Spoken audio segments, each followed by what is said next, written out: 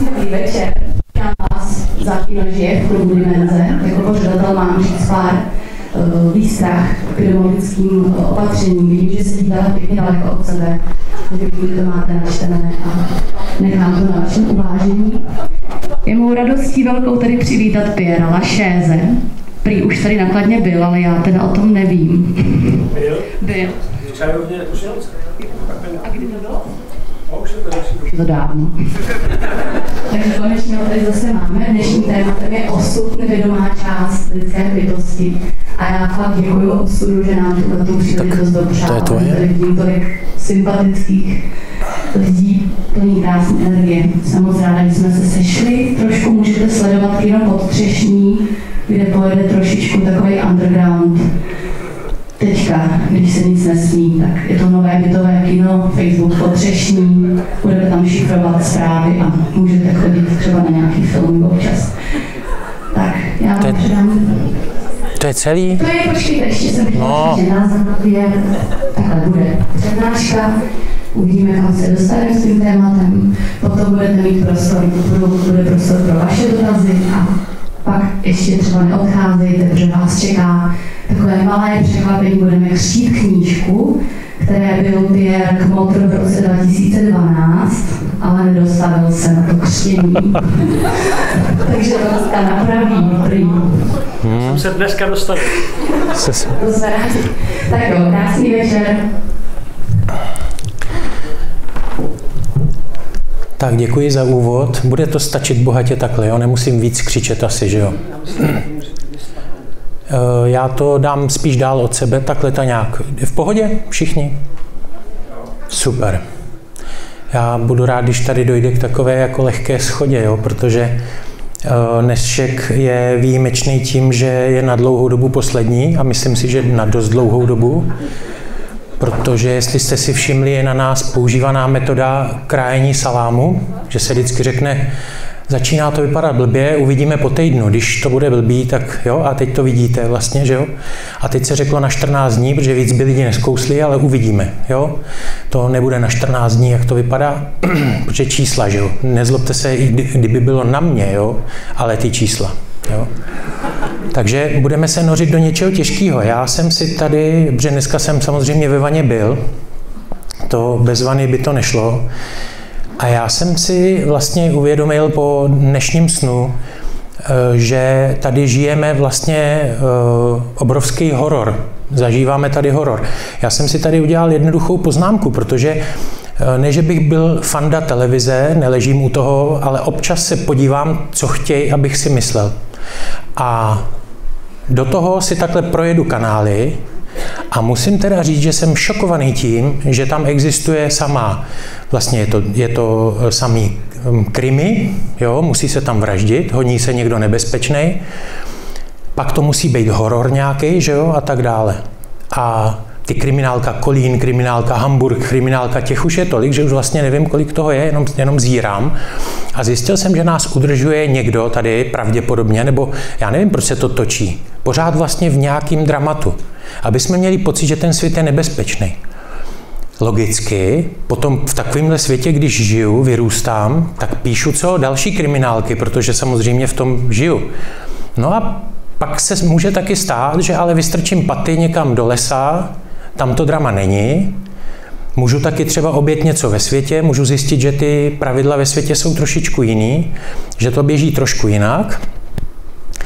A najednou jsem si položil tu otázku, jo, co teda vlastně má smysl dneska konzumovat za, eh, za informace? Protože to, co nám teče těma kanálama, už víme, tam se dá vyzobávat, ale nicméně ten proud toho, co tam na nás teče, je velmi náročný. I se v tom vyznávat, i vůbec utáhnout tu energii, když si tam chlapík stoupne za, ten řečnický pult a začne říkat ty bludy. Proto já miluju právě tu Pierovu e, psychologii souhlasu, protože tam já jsem, no vidíš, já zrovna se na ní můžu já jsem moc o knížkách dneska mluvit nechtěl, ale musím se zmínit. Jo? Jestliže hledáme společně východisko z tohohle toho fašismus připomínajícího systému, který se chová libovolným způsobem bez ohledu na to, co se děje venku, No, tak se budeme muset začít ptát, co se děje, jak, jak rozpoznám člověka, který hovoří pravdu, člověka, který frčí v nějakým bludu. A psychologie souhlasu mě teda naučila hodně rozeznávat, co to je, když se člověk topí v nějakým e, bludu, v předsudku, co to je vlastně názor a postoj, jak se to může změnit a tak dále. Pak tady máme ještě víru a porozumění a tak dále, přesvědčení. Ale dneska si myslím, že máme co dočinění s psychopatama, kam se podíváte. Systém je nastaven tak, že se zdá, že nás můžou ovládat. Můžou manipulovat všechen ten systém. Mají co z v ruce, věřím, že to nevydržíš a že něco pak řekneš, tak to nebudu rozvádět. Jo? Ale e, pak se musíme ptát, kde teda brát informace, kde teda brát to naladění, protože to je to naladění, ta nálada, to je náš Vlastně to je naše kredo, to nám nikdo vzít nemůže. Já můžu být dobře naladěný i v kriminále, to si myslím, že v tom skřivánci na niti ve filmu bylo velmi dobře vidět, protože ten neckář prostě zářil, ať byl kde byl a s ním vstupovalo to božství že jo, do toho prostoru a on prostě vytíral a vytíral, i když mu tam chlapi nosili tu hnus na těch holínkách a bylo jim to jedno a on to znovu vytřel bez nějakého komentování. A to si myslím, že totiž je jediná, jediná naše eh, síla, že si musíme najít v sobě to, co je opravdový, to, co je božský, to, co je to naše skutečný, to, co je autentický. To mně možná přijde dobrý slovo. A já jsem si tak říkal, nakolik je autentický spisovatel, který to ne v nějakých svých problémech. Eh, v 19. století byli na pořadu dne spisovatelé a herci, a, nebo lépe řečeno eh, ti eh, dramaturgové a tak dále, kteří byli rozervaní, jo? když malovali obrazy, malíři různí, tak to bylo, to bylo skvělé, že to byli vlastně takový nerváci a podobně a byly to roztrhané osobnosti pro, pro někoho zajímavý v té době. Mně dneska se líbí, že se dají najít i osobnosti, které jsou v celku už v pořádku. Jo? A dokážou napsat i knihu, ve které se toto otiskne. Jo? Proto mám rád eh, vlastně ty Pierovy knihy, protože já vlastně jdu do vany a můžu klidně jít i po těch zprávách, po těch, co jsem si přečetl nějaký ty věci na internetu, se tak jako koukám a ono ne, že by to nemělo vliv, ono nějaký vliv to vždycky má, že jo? je to energie, která ke mně přichází. Teď jde jenom o to, jakou já ji přisoudím váhu, co s ní udělám. A já jsem zjistil, že ve chvíli, kdy začnu číst, tak na první stránce mi, se mi ještě mixují ty myšlenky, že tam dobíhají ty komentáře. Ale když vydržím, tak se postupně v tomhle vykoupu a už začne běžet můj film. A o tom to je. A čím dál tím víc eh, mi stačí k tomu naladění jenom se vlastně rozpomenout na to, kdo jsem. A jestli chci věřit tomu, že nade mnou má někdo moc, a v té psychologii souhlasu si myslím, že jsem našel hodně pevné půdy pod nohama e, právě proto, abych uměl rozeznávat u sebe a u druhých e, některé typy, e, tady Pierre to nazývá souhlasů, to znamená to, s čím oni souhlasí, že jsou v podstatě pro mě laicky. No a najednou vlastně, když se tak otočím a vezmu si knihy, který Pierre napsal v průběhu, tak to, že napsal cestu, mně přijde docela příznačný, tu napsal zhruba před 30 lety a ta cesta je aktuální vlastně i dnes, protože pořád, vlastně to je z doby, kdy se hroutil socialismus nebo zhroutil a něco začínalo. Teď se nám hroutí pod rukama nebo pod nohama ten systém, ve kterým jsme, hroutí se, nefunguje. Čím dál tím víc lidí očekává změnu. Ta změna už přišla. Spousta lidí se ptá, ale nebude válka, že jo? Nebude. Já říkám, no nemůže být, když už tady je. Akorát není samopalem, ale je na jemnější úrovni a je to válka sociální, je to válka ekonomická, je to taková ta válka psychologická, pracuje se se strachem. No tak uvidíme, uvidíme. A v té cestě právě Pierre eh, třeba píše, že se otevřeli, vlastně otevřeli se mříže té zoologické zahrady, ve které jsme byli zavření a nevěděli jsme, co máme dělat, protože se tady ocitla džungle. Předtím jsme dostávali pravidelně na žrat. Jo? Teď, co se děje, to už jde srovnat možná ještě s dobou nějakou tvrdší. Jo? Už to nebudu ani nazývat, já si myslím, že to tady zazní. No, když se eh, posunu dál eh, a když jsem začal poznávat sám sebe, vlastně, kde, kde je kde je moje síla. Já jsem pořád, pořád dlouho nenacházel svoji opravdovou sílu, abych si řekl, tak jo, tak tady zdechnu. Jo? Dobře, tak jo. A teď už vím, že nemusím zdechnout nikde. Ale pokud mě někdo bude chtít zabít, jakýmkoliv způsobem, tak už je mi to vlastně teď jedno. Teď už řeknu, jestliže to bude mít smysl a nebudu vidět dál tu cestu, no tak hold prostě nedá se nic dělat, tak odejdu. Ale už si nikdo nebude ze mě dělat vlastně rohošku. No a v, te, v, tom, v tom románu Den svatého Ignora, který je velmi těžký, jsem, jsem si vlastně prošel a nemyslím si, že je to ještě u konce. Všechny ty svý temné stránky. A myslím si, že právě přes to, co mám v sobě nevyřešený, kde jsem slabý, kde jsem nedospělý, kde se chovám jako dítě, kde se chovám zbaběle, to tam všechno jsou věci, přes které mě lze snadno manipulovat, snadno ovládat, zastrašit. Ve chvíli, kdy je poznám a opustím je a řeknu si, no tak takováhle sračka nebudu, abych tohle aplikoval na lidi, na sebe, na všechny okolo, no tak co už, tak to prostě odložím a je to pryč. Takže ono, eh, každá z těch knížek mě dala eh, takovou, takový kousek skládanky, ale to, co přišlo ve zmrtvých stání, mě docela ohromilo a že to přišlo vlastně za 5 minut 12, že jo? Viděli, viděli jsme to, je to dva roky, a mezi tím, ještě jsme dneska jsme o tom mluvili, kdo by před rokem očekával, že budeme nosit roušky, že se pandemie bude říkat něčemu, kdy se pozitivními stalo 1% obyvatel a nemají téměř žádný příznaky, a už se tomu říká pandemie proti všem zákonům, je to velmi zvláštní. Tak do takovéhle doby jsme se dostali. A tom zmrtvých stání se Pierre pokouší ukázat, jak to vlastně je, jestli ten jednotlivec má tu svoji moc, jestli může ten systém nějakým způsobem, řekněme, na, našťourat, jestli, nebo jestli ho může podporovat vlastně tím svým zbabělstvím nebo něčím podobným. Chápu, že není jednoduchý vystoupit ze systému, není s řešením útěk do lesa, ale v tom zmrtvých stání je nádherně ukázaná psychologie těch, co to mají v rukou, opravdu, tím nemyslím tu partu loutek, co tam pobíhá denně v televizi. Ani jednoho z těch, co se tady skloňují. Loutky nás nezajímají. Nás zajímá ten, kdo za ně tahá. A tomu říká tady Pierre Majitele, proto se to jmenuje zmrtvých stání, protože jiný člověk se takhle k druhým lidem nemůže chovat jinak než zmrt.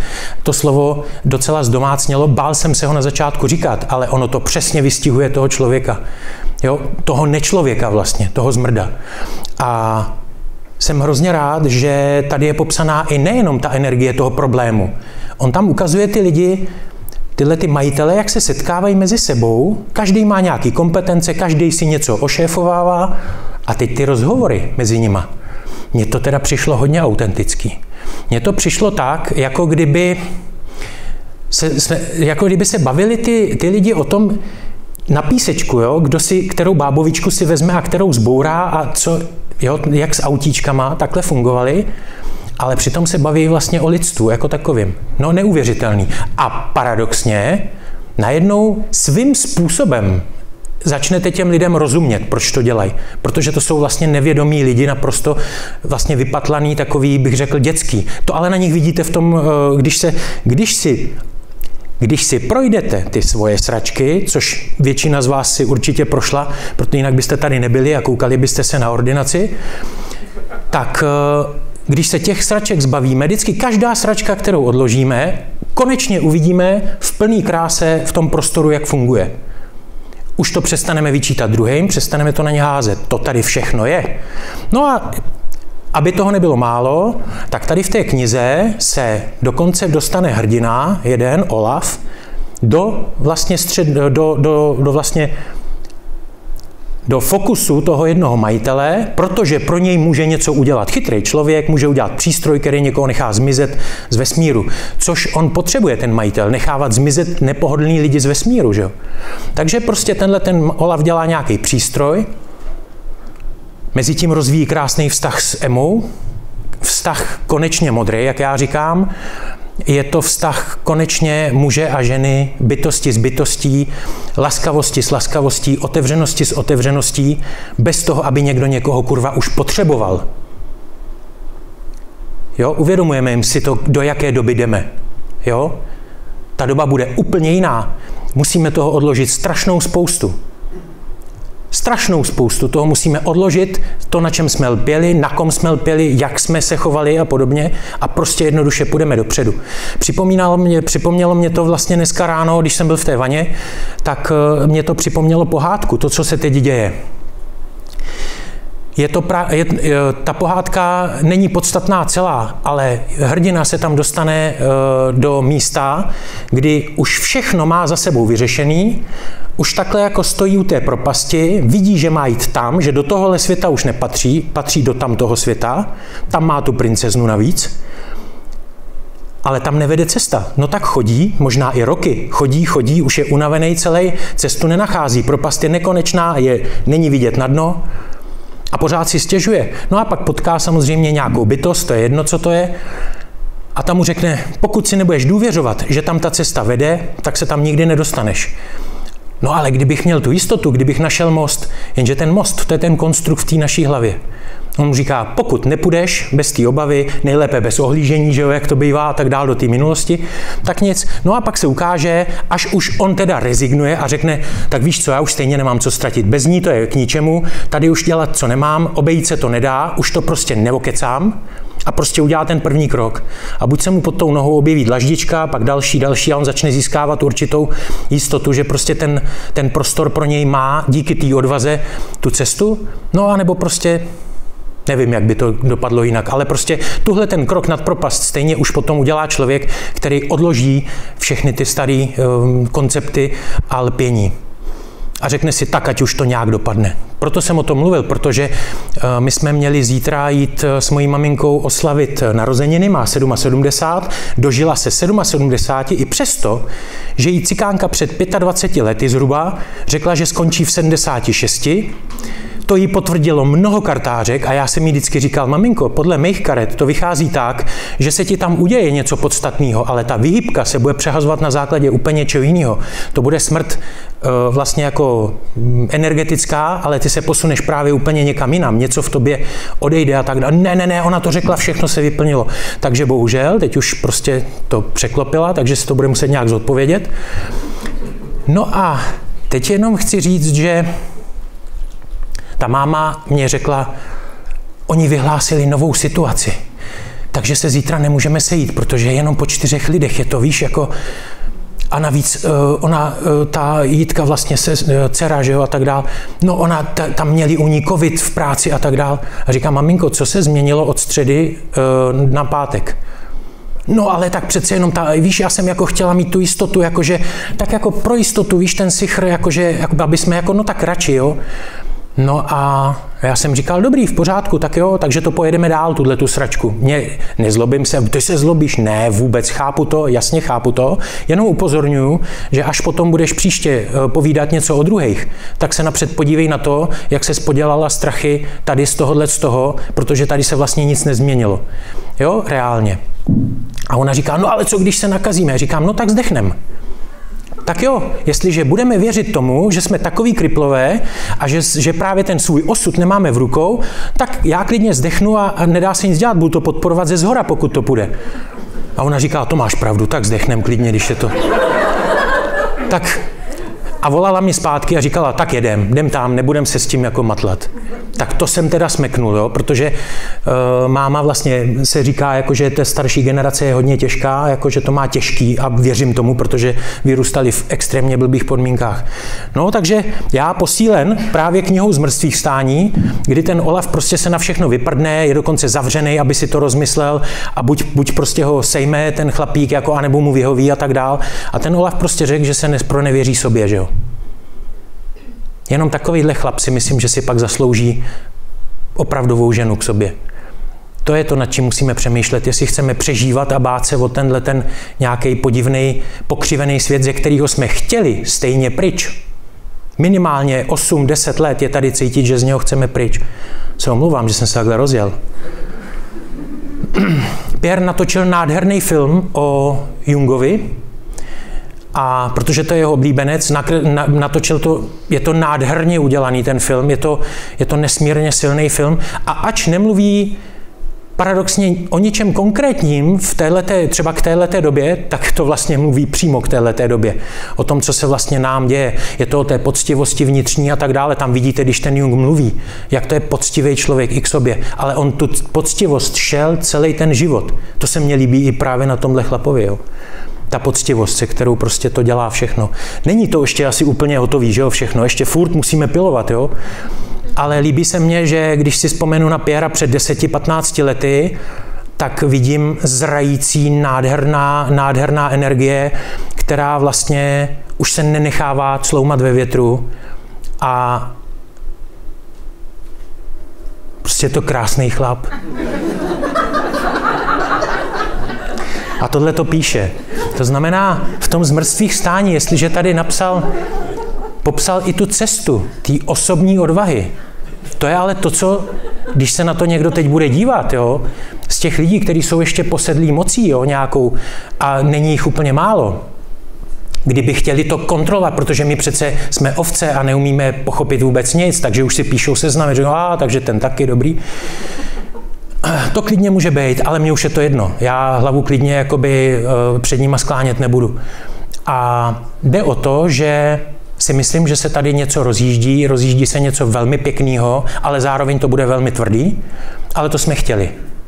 Takže pokud byste se v tom náhodou chtěli trošičku upevňovat a chtěli byste se vlastně koupat v té energii, která už nějakým způsobem pevná je, je to profiltrovaný eh, určitýma životníma zkušenostma pěrovejma, tak když se ponoříte do těch knih, tak já věřím tomu, že neuděláte chybu.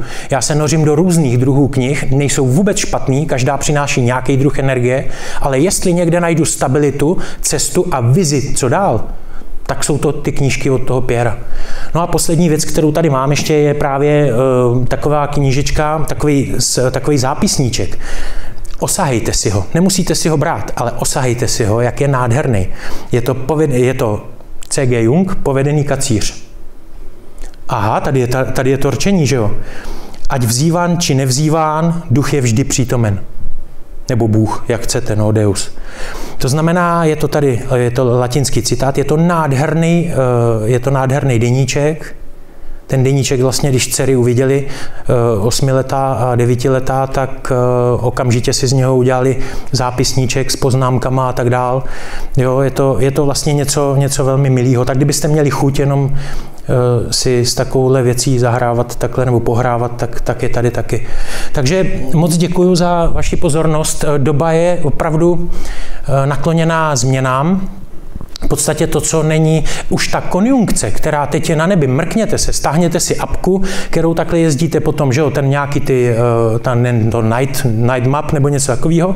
A když se podíváte, kde je Jupiter a Saturn, zjistíte, že jsou velmi blízko u sebe. To by ještě nevadilo, ale mezi nimi je Pluto. A Pluto jako terminátor tady jde a ptá se, funguje to naplno, je to ze srdce, věříš tomu opravdu, nebo to jenom tak šudláš, tak pryč. Jo? Co to je za vztah tohleto? Jako ty to chceš udržovat jenom tak? No tak se uvidí, jak to dlouho udržíš. Už to tak není. Prostě to takhle nebude. Naschledanou. A nebo to budeš muset držet svojí osobní silou a za dva měsíce padneš na držku. To se plošně lidem děje a já z toho mám obrovskou radost. Že se vlastně rozpadají vztahy, které nejsou vztahama. A naopak si myslím, že bude bomba sledovat, jak tam je vlastně na tom obrázku, eh, na, té, na tom zmrtvých stání, je ten červený zmrt uprostřed, který vlastně stojí jako takový ten, ten karatel, ten, ten, kdo bude rozhodovat. No a pak jsou tam ty dva, ten Olaf s tou Emou, no jo, modrá, krásná, eh, jsou nakreslený, prosím vás, tak, že z toho úplně, to erotično z toho úplně kape. Neplést se sexuálním, jo? To erotično tam je, ta, ta Emma, to je, to je prostě šťabajzna. A e, tam jde o to, že oni mezi sebou opravdu navážou vztah, který má smysl. A to má smysl, ale i mezi mužem a mužem. V práci, Nemyslím takový ty vztahy, ty divný. Mezi ženama v partičce nějaké, aby utvořili kmen, aby se děti v tom prostoru cítili dobře. Nevidím důvod, proč by ženy v tomhle období měly dál pokračovat v tom strojovém rytmu, když jim byl dán biologický rytmus úplně jiný. Žena má prostě dny, kdy si chce zalézt, nechodit do práce, dělat si své věci. To je svědectví od žen, který se mi směřují a říkají, ale já to mám prostě nadiktovaný tady tím letím systémem. Taky od toho musíme pryč. Ono toho je víc, co budeme muset opustit. Kdybych se tady chtěl fakt rozjet, tak se zeptám, kdo to řek? Pondělí až neděle. Kdo to řekl? Pak jsou v pátek a v pondělí zácpy všude. Teď je to hovadina, my to jako víme, ale už ani nad tímhle se nepozastavíme. Takže ono toho budeme muset zbourat docela hodně, ale věřím tomu, že ve chvíli, kdy uděláme ten krok, že se nám ta cesta uh, tam začne zjevovat. A to bych všem tady, jak jsme, uh, chtěl popřát hodně pevno, pevných nervů, hodně sil a hodně štěstí do tohoto období, protože se tady budeme muset opravdu o něco utkat se sebou a s druhým asi. Moc děkuji za pozornost.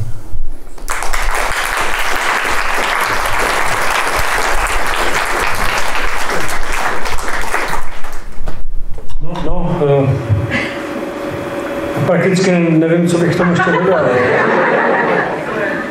No, Tak to zopakuju. bylo všechno, možná víc než všechno. Tak já bych se věnoval tomu osudu.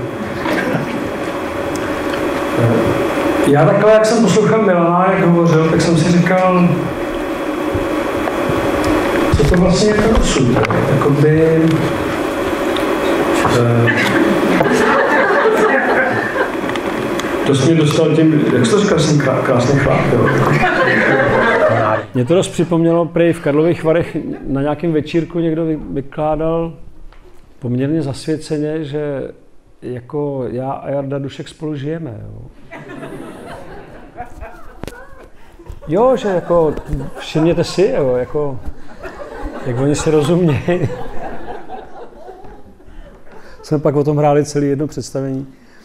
Jsme říkali, no, jako, že je dobrý, že ty naše ženský tam doma jako fakt uvěřili tomu, že my fakt jako spolu hrajeme to divadlo. Jo, jako. No nic, tak uh, jsem si tak na to vzpomněl. Ale chtěl jsem jenom říct, uh, a zmí, uh, jako by baví, sešli jsme se proto, abychom se dotkli něčeho, co je osud. Co to je? Co to jako je ten osud? Jo? Co to je ten osud? A já se teda omlouvám, že to vezmu trochu psychologičtěji, protože zkusme si položit takovou otázku. Ona není komplikovaná, ale to, co z ní plyne, je komplikovaný. Ehm, Proč, proč se člověk narodí? Když jsem se ptal svého táty, můj táta, ročník 37, pro mě velký mistr východních nauk, jo, aniž by to kdy tušil. Ani dneska to možná neví. Ehm, Zaujal mě, když jsem například projevil určitou obavu třeba o svůj život. Jo. On řekl, co se tady obáváš o svůj posraný živůtek. Jako, tak už tenkrát mě to zaujalo, jo, když takhle o tom mluvil. Říkám, posraný živůtek, no. Moc jsem nevěděl, o čem mluví. Pak, když mi řekl větu, to už pro mě bylo srozumitelnější v těch třech, čtyřech, pěti letech, že by byl raději, kdyby tady nebyl. Byl bych raději, kdybych tu nebyl, říká mi ten fotr, že jo, prostě, který mi zároveň říká, neboj se o ten svůj posraný životek, jo. Říkám, ty bys tady jako raději nebyl? No, to by bylo nejlepší, říká ten zasmušilej, velmi vzdálený člověk, jo. Nikdy jsem neměl pocit, že by byl tady. Jo? Vždycky jsem měl dojem, že velmi daleko zhruba, tak asi jako ten duch toho východu, jo? takový ten neúplně zúčastněný, jako to samsára a tohleto a všecko takový nějaký, jako jenom se to zdá vám, jo? myslíte si, že přikládáte tomu význam, ono to žádný význam vlastně nemá, je to taková jenom vlnka na hladině oceánu, bezvýznamná, jako celý ten přesně posraný životek. Mu říkám, a proč jsi teda tady? Říkáš, nejradši bych tady nebyl. Tak se tě ptám, jako to naivní malý dítě, proč tu seš? Jeho odpověď mě úplně jako dostala. Musím říct, že jsem ji ještě úplně nespracoval. Uh, no, protože mě sem přivedli moji rodiče. Oni se mě na to neptali. Jo? Taková zajímavá odpověď, svým způsobem by člověk řekl, jo, ty jako, aha, to mě nenapadlo vlastně. Jako. Vidíš, tohle mě nenapadlo. Jako, jo. Ne, rodiče se mě na to neptali, ne, oni mě sem vrhli, že oni za to vlastně jako můžou, že já jsem tady, já bych tady, kdybych mohl, tak bych tady nebyl. Ale mně pořád připadá, že otázka, kterou se dostáváme k podstatě osudu, pokud se teda chceme bavit o osudu, proč tady kurva jsem? Potkal jsem podobného člověka s podobnou aurou, jako měl ten můj otec, akorát, že to nebyl můj otec. Takový podobný, zvláštně nepřítomný, nezúčastněný, zasmušilej, takový zachmuřený chlapík, prostě se dělíme, poví, povídáme si, on tak sedí, kouká prostě před sebe. Já mu pak říkám, když už jsem ho takhle pozoroval pár let, jo, tak jsem mu říkal, hele, jak ty se tady vlastně cítíš jako na tom světě? On říká, hele, já ti to řeknu takhle. Kdysi, to jsem ještě byl ve školce, šli jsme takhle na procházku s tou školkou. Drželi jsme se toho provazu. Jo? Ten provaz jako táhla ta paní učitelka. My se takhle držíme toho provazu, jdeme po té letný. E, do té doby si nepamatuju nic, říká ten chlapík. Jo? Do té doby si nepamatuju nic. Ale ten moment si pamatuju dobře. Držím se toho provazu, jdeme skrz ty paneláky a já se najednou podívám takhle kolem sebe. Vidím ty paneláky, ten provaz, tu učitelku, jak to tahne. A říkám si, tady asi nejsem dobře. Asi jsem se netrefil jako jo, do času, možná ani na planetu. Tady je něco jako v nepořádku. Já jsem si říkal, aha, takže to jsou ty momenty, kdy se člověk dotýká osudu, respektive otázky, proč tady teda jsem? Proč? Jo, ano, můžu si odpovědět jako můj otec. Převedli mě sem moji rodiče. Můžu si odpovědět jako ten můj kamarád. E, nejsem tady dobře. Já jsem jednoho spolužáka na vysoké škole. Když vyslovoval slovo Maheshvarananda, zdálo se, že má u toho ejakulaci vlastně. Jo.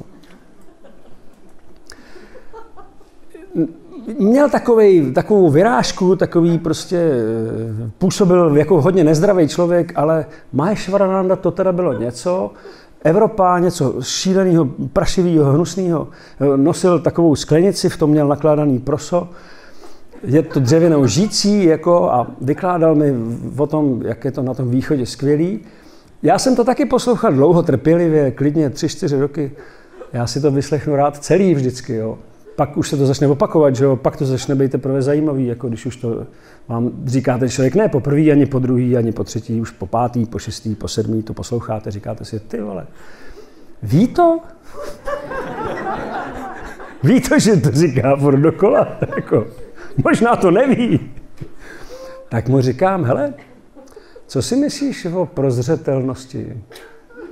E, prozřetelnost, no, jako, jo, prozřetelnost, to, to existuje samozřejmě, to Maheshvarananda zrovna hovořil o prozřetelnosti, jako říkal moudrý věci o prozřetelnosti. Já říkám, no počkej, jenom mě zajímá, eh, všim si z toho významu v té češtině, prozřetelnost, ono to znamená vidět skrz, jako, jo, vidět skrz.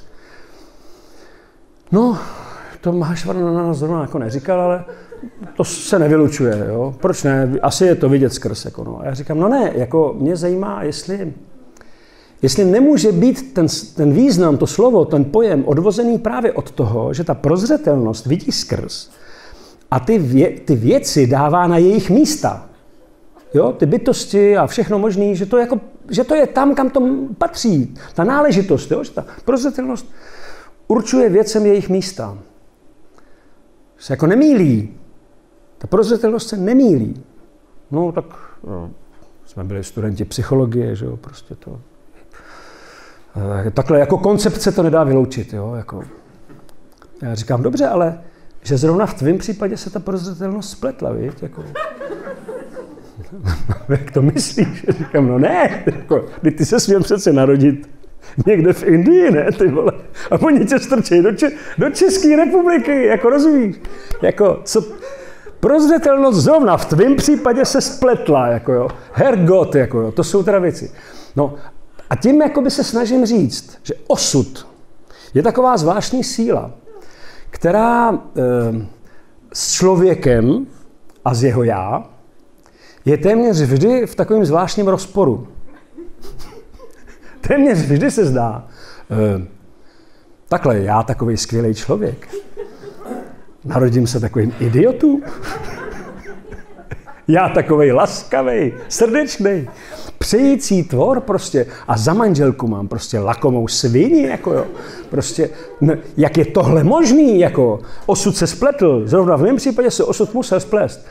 Takže e, proto jsem navrhnul pro jakoby dodatek tady téhletý přednášky vlastně osud jako ta nevědomá část té bytosti, jo? jako ta skrytá, jako ta část, ano dobře, tak jasně, že nebudu si dávat do výlohy jako e, to, co konec konců ani mně se nelíbí, jako na mě. Jo? Takhle, jako kdybych, kdyby to bylo moje, ale ono to ani není moje. Jo? Takhle, někdo říká, že to je moje, ale on se spletl, že jo? ta prozřetelnost se prostě spletla. No, a já jsem chtěl říct jakoby takovou jednu věc, možná vám bude připadat komplikovaná a dopředu se za to omlouvám, ale já si myslím, že je právě naopak velmi jednoduchá a velmi prostá. Eh, existuje takový zákon, pozoruju ho asi 35 let, jo. teda já ho pozoruju 50, asi 8 let, jo. ale vědomně, vědomněji ho pozoruju přes 30 let. Spočívá v tom, že jakmile se nějaká věc, jakákoliv, ocitne v nevědomí, přestane se vyvíjet. To je velmi zvláštní. Dokud ta skutečnost je součástí vědomí. To znamená, dokud jsem ochoten jí brát jako svou, za svou, dokonce za ní nést určitý typ zodpovědnosti, tak může docházet k vývoji. Může docházet k nějakému dialogu, protože ten dialog, to je ten vývoj vlastně. Jo, ten dialog přináší tu změnu. On mě přivede k tomu, že co si myslím dneska, už je dopředu blbost. Jo? Poněvadž za deset let zcela jistě uvidím tu stejnou věc mnohem zralejším způsobem. Uvidím ji mnohem, mnohem eh, třeba klidněji. Jo? Ne, nebude tam tolik pnutí, tolik, tolik dramat, dramatu kolem toho. Tedy, jestliže něco je v nevědomí, nevyvíjí se to. Možná víte, že existuje velmi zajímavá teorie, a já si myslím, že to není žádná teorie, že to je normální jako regulární prostě zjištění, že jakmile umíráme, jakmile odcházíme z tohoto světa, Jarda Dušek jo, má takový bormot, mně se to docela líbí, jo, že tady si uděláte, nepěstujete jméno, pěstujete jmění. Nepěstujete jméno, pěstujete renomé. Jste něco, někdo, jo, něco se z vás stane, stejně nikdo neví, co jste, jo. Ale prostě oni vás vidí takhle. Takže to jste. Vidí mě jako premiér a jsem premiér. Jo. Jednou jsme zažili takového chlapíka, co přišel po představení a dává vizitku tomu Jardovi. Jo. Rád bych se s vámi raz stretol. Takovej, vidím ho, koukám na něj, bože můj, říkám si, to je teda chudák, co se mu stalo. Ehm, velvyslanec Slovenské republiky tady v Prahe, hej. Jako, no ne, protože jsem to nevěděl, možná kdybych to věděl, viděl bych ho jinak. Jo, já už bych viděl, pozor, to je velvyslanec. To, jako, nenapadlo by mě myslet si o něm, že to je chudák.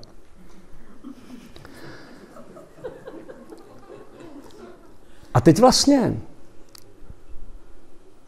představme si, že jsme vypěstovali svoje renomé, nahromadili jsme svoje jmění, pak se setkáváme s andělem smrti a říkáme, tak co jako?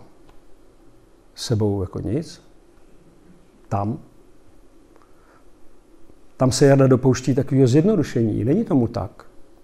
To, co si odnáším, není ani moje renomé, není to ani moje jmění. To, co si odnáším, jsem já. Jo?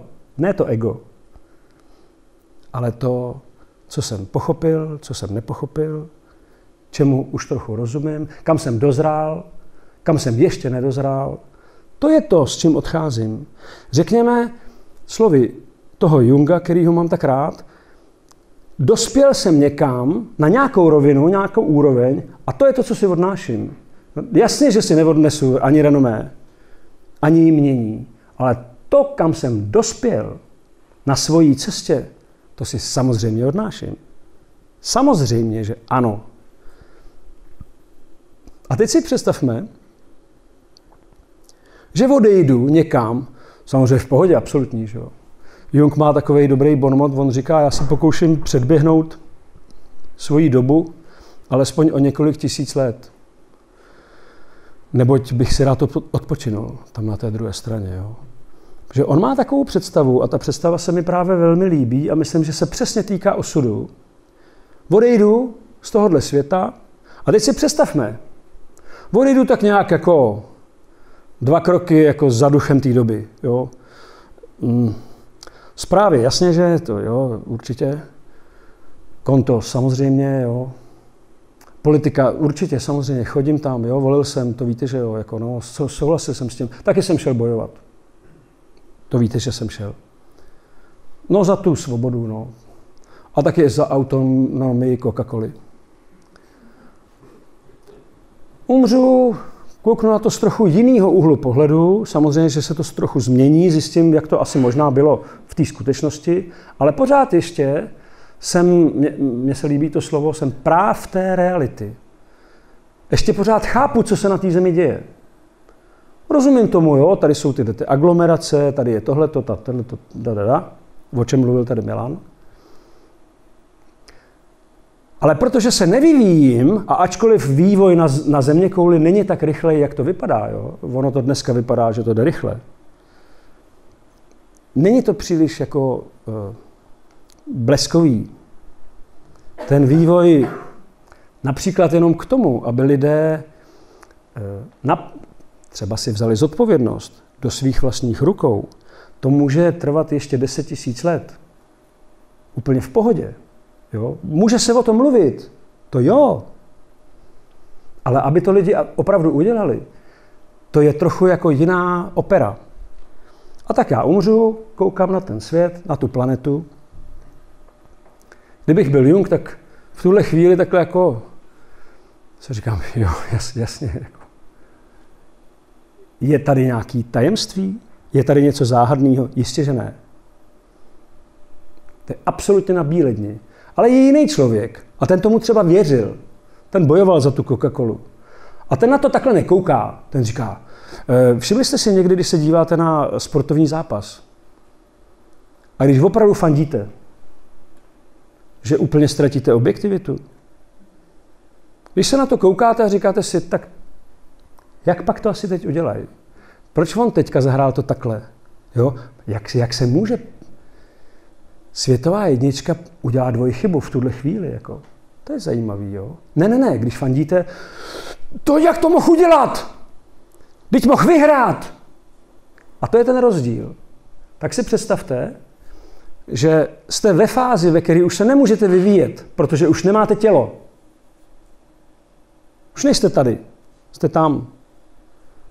A přestanete chápat, co se děje na planetě Země. I když, jak říkám, vývoj neprobíhá překotně. Vývoj probíhá velmi pomalu, velmi zvolna. To je pro mě důvod, proč se člověk narodí a to je jeho osud.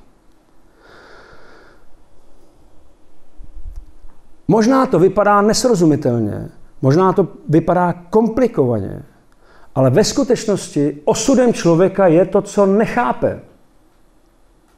To je jeho osudem. Osudem není to, co chápu a co je mi jasný, neboť to se nepotřebuju učit. Proč bych se měl učit něco, co zvládnu levou zadní? Ale pořád tady zůstává mnoho otázek a mnoho věcí, které nechápu a nejsou mi jasný. Jak to, že někdo může být takhle hnusný? Jak to, že někdo může být takhle krásný? Jak to, že někdo může být takhle sobecký? Jak to, že někdo může být takhle nesobecký? To jsou věci, které nechápu. To jsou věci, kterými nejdou na rozum. To jsou věci, které jsou mým osudem. Proto se rodím. Zkusím uvést příklad, aby to bylo aspoň trochu srozumitelnější. Omlouvám se, že to bude příklad jednoho jediného člověka z téhle planety. Zkuste si představit svůj osud, jo? protože ono to vypadá jako, jako banálně, jo? když to budu říkat, bude to vypadat jako úplně jako směšná věc. Představme si osud člověka, který nechápe pramen bolesti. On neví, co to je. Ten člověk netuší, co to je pramen nejhlubší bolesti. Vy to taky nevíte. Vy nevíte, že to je osudem tohoto člověka. Vy si jenom říkáte, když se s ním setkáváte, proč ten člověk je tak bezohledný? Proč ten člověk je tak krutej? Proč šlape po vašich citech? Proč ignoruje všechno, co mu říkáte?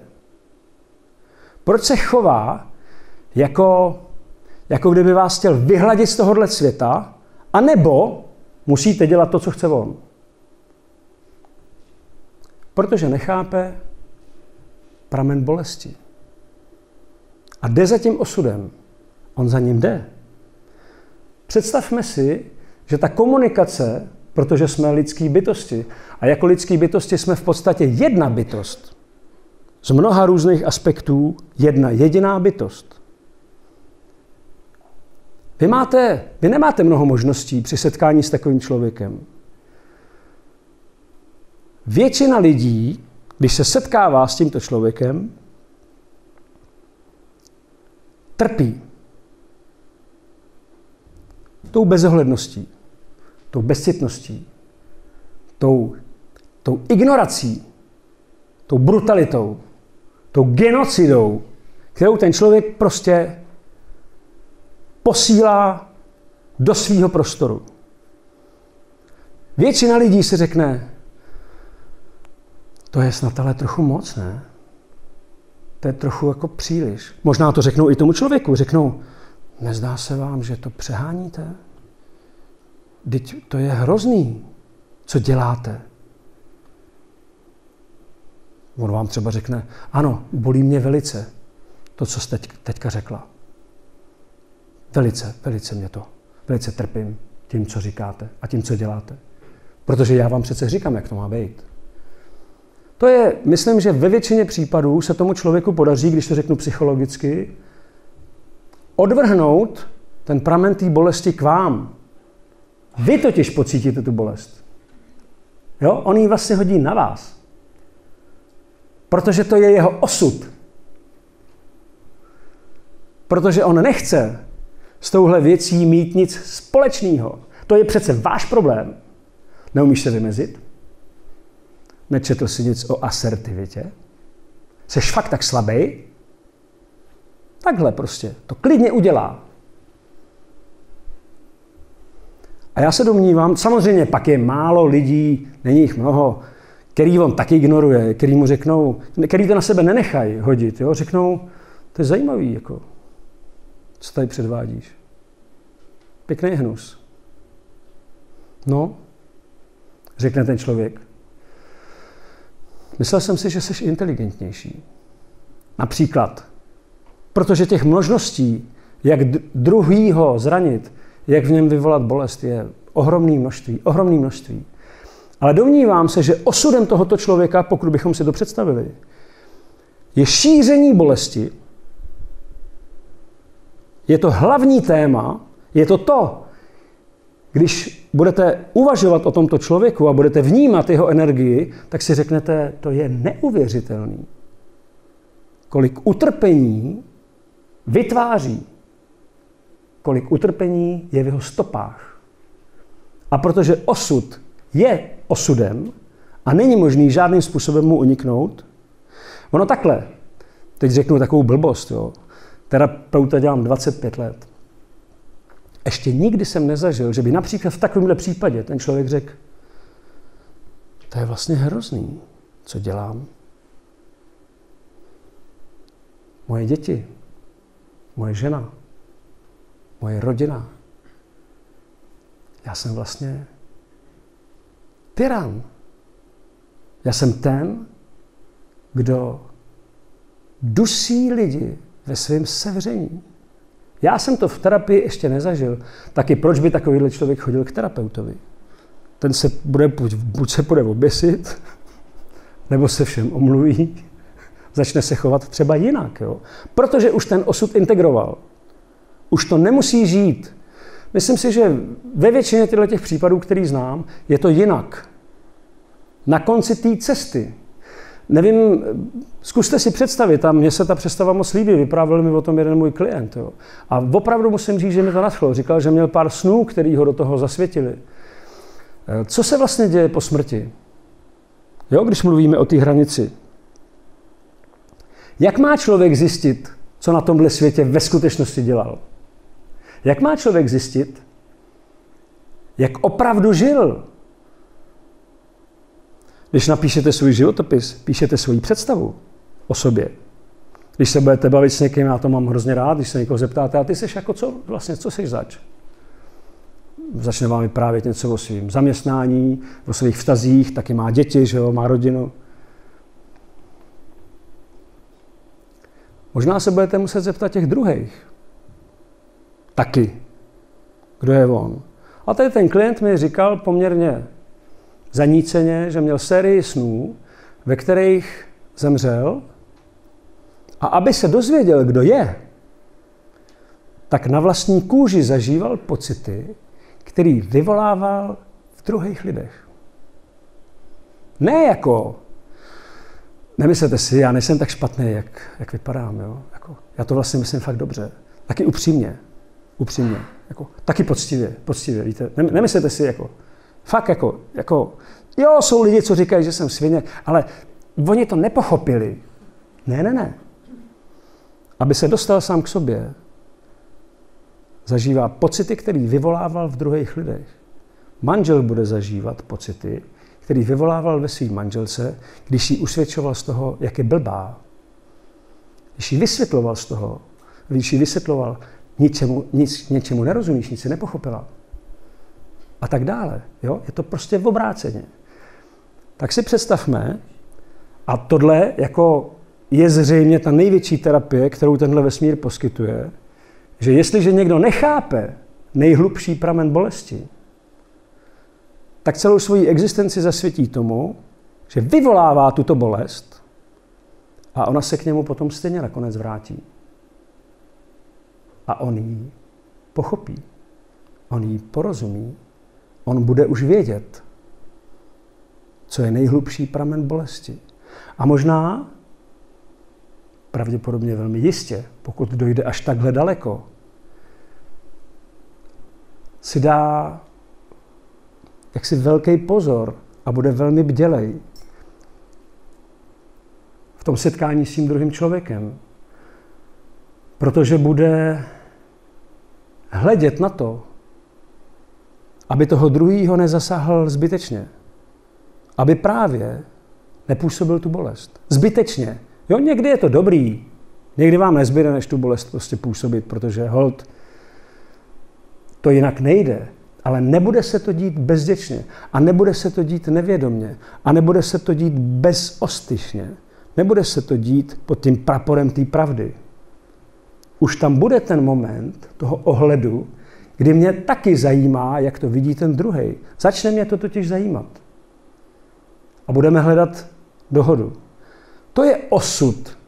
Jo? Tohle je ten osud. To je to, za čím člověk jde. Budu, znovu to řeknu velmi jednoduše. Já se omlouvám, možná je to trochu složitý, co tady říkám, ale můj osud není to, co chápu. Můj osud není to, co je mi jasný. Můj osud není to, po čem kráčím pevně a neochvějně. Mým osudem je to, čemu nerozumím. Mým osudem je to, co je pro mě záhadou, co je pro mě tajemstvím. To je mým osudem. To motivuje moje kroky. Možná znáte ten film, takový, myslím si, že to je jeden z nejzajímavějších moderních mýtů, i když se týká poměrně banální, eh, banálního tématu nějakého hrdiny. Není to jenom tak, jo, ale to tenkrát na západě. Jo. Je to bylo, nebylo, že jo. Bylo, nebylo. Tenkrát na západě. Když na konci ten chlapík, který by mohl jít pryč a mohl by se na, to vykašlat a mohl by si říct, jo, dobrý, jako něco se povedlo, něco se nepovedlo. On se tam vrátí, protože ví, že je tam někdo, kdo ho vidí. A říká jako, a ty seš kdo? Kdo seš? Že mám pocit, že vidíš víc, než vidím já. To je osud. Jo, to je to, co vlastně nám jakoby otvírá ty oči. Přes všechny bolesti, přes všechna nedorozumění, přes všechna úskalí a přes všechny takové zvláštní druhy nárazů a překážek. Měl jsem nedávno takový, takovou klientku, která přišla a vyprávěla mi takový svůj sen. To je přesně podle mě jako o tom, jak se otvírá osud. Říkala, jdu takhle po vodě, v tom snu, že jo, žádný problém, jako, po vodě, pohoda. To je to, co ví. To je to, co ví. Každý z nás v určitém smyslu takhle si jde, jako jen tak, volně. Najednou přednou taková skála, takový jako dvě skály, takový veliký, vysoký skály a cesta jako vede jenom k těm skálám, jo, jako jo, jo, chci to obejít samozřejmě, ale když jdu jako takhle doprava, tak najednou nevím proč, ale nemůžu jít po vodě. No tak jdu doleva, no tak zase výjdu z toho koridoru, zase tam nemůžu jako jít. Ten koridor vede jasně k té skále. Mhm, tak jo, tak si říkám, tak to podplavu. Tak plavu tam někam, ale ono to jako nekončí nikde, že jo. Pořád dál a dál a dál a dál. Tam není jako, kudy by se to dalo podplavat. Tak já nevím, tak to přelezu, zkouší to taky nejde, no. A říká, víte, co bylo nejšílenější? Byla to série snů, které se mi zdály fakt velmi dlouho. A vždycky to končilo tím, že jsem zkusila tuhle tu nějakou výhybku, nějaký ten, nebo tu obezličku. To se nepodař, nepodařilo, no a jsem se probudila, že A celý druhý den prostě si říkám, ty a v noci zase znovu. Jasně, jdu po, po vodě, jo, dobrý, skála. To je osud. Takhle se přesně chová. A, a ona řekla, víte, když jsem vyzkoušela všechno možný i nemožný, a skála tam furt byla, a já jsem se přes ní nemohla prostě dostat, tak jsem se prostě rozplakala, no, řekla jsem, to je v prdeli, prostě tohle, na tohle nemám, jako. To je překážka, kterou nemůžu vůbec překonat. A víte, co se prý pak stalo? Říká ta paní. Říkám, no, myslím, že trochu vím, ale zajímá mě, co mi řeknete vy. Ta skála zajela a cesta se otevřela. Takže zase tady vzniká otázka, kdy má vlastně smysl s osudem bojovat a kdy má smysl s ním nebojovat. Nebo jak vlastně to vypadá, když bojuju s tím osudem. Znám mnoho lidí, mám jednoho kamaráda, fakt mám ho velmi rád, skvělý harmonikář a výborný entertainer, který vždycky říkal, hele, mě už to nebaví hrát na tu harmoniku, furt ty lidi z těch hospodách, všichni jsou jako v pohodě, všichni se toho baví a mě to nějak nebaví, jako, já jsem intelektuál, já natočím film, natočil film, který nikdy nikoho nezajímal, že? se vrátil zpátky k harmonice a až jsou mnohem spokojenější. Jo, jako velice často máme takový dojem, že to, pro co jsme se zrodili, ta cesta, pro kterou jsme, ta otázka, jako není vlastně moc zajímavá. Je taková banální, taková tuctová, no, jako konec konců, jako odpověď na ní je přece velmi jednoduchá. Akorát by se člověk musel ptát, proč to teda žiju? Proč to takhle komplikovaně žiju? Proč hledám ty úniky?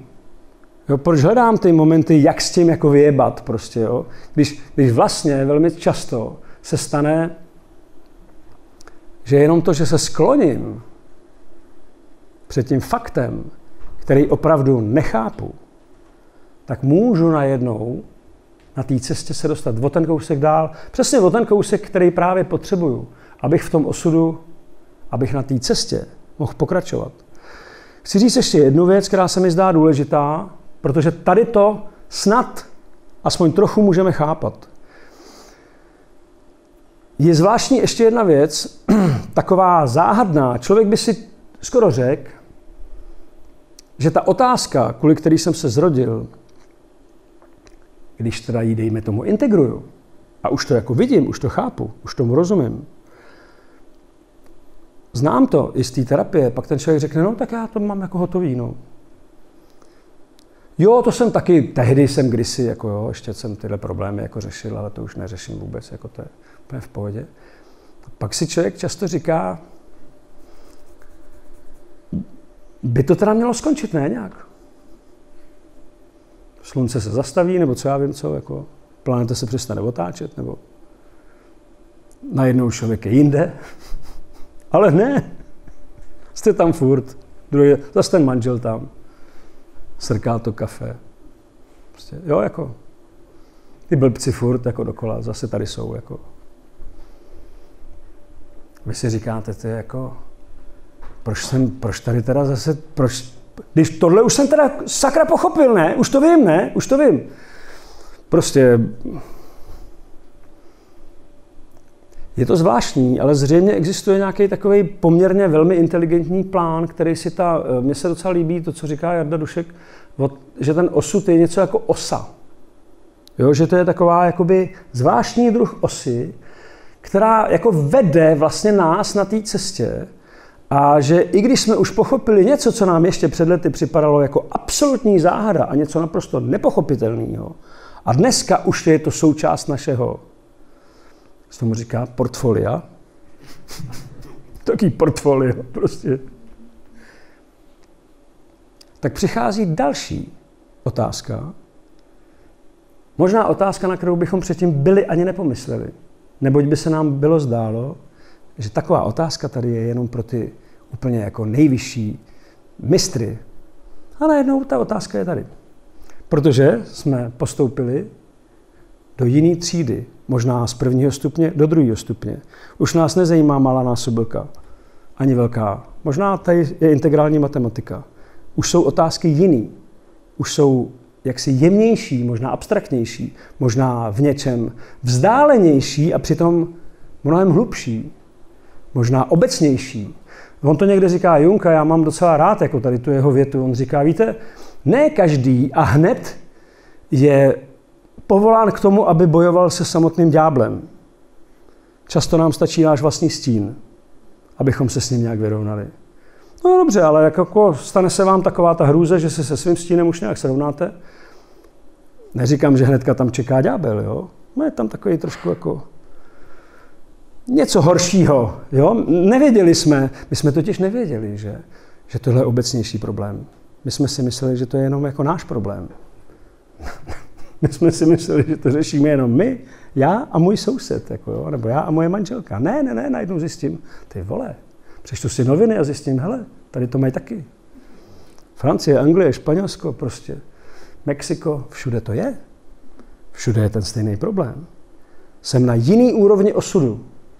Myslím si, že by bylo dobré uvědomit si, že je něco jako individuální osud, je něco jako osud nějakého celku, je něco jako osud nějakého národa, je zcela jistě něco jako osud lidstva. Zcela jistě to tak je.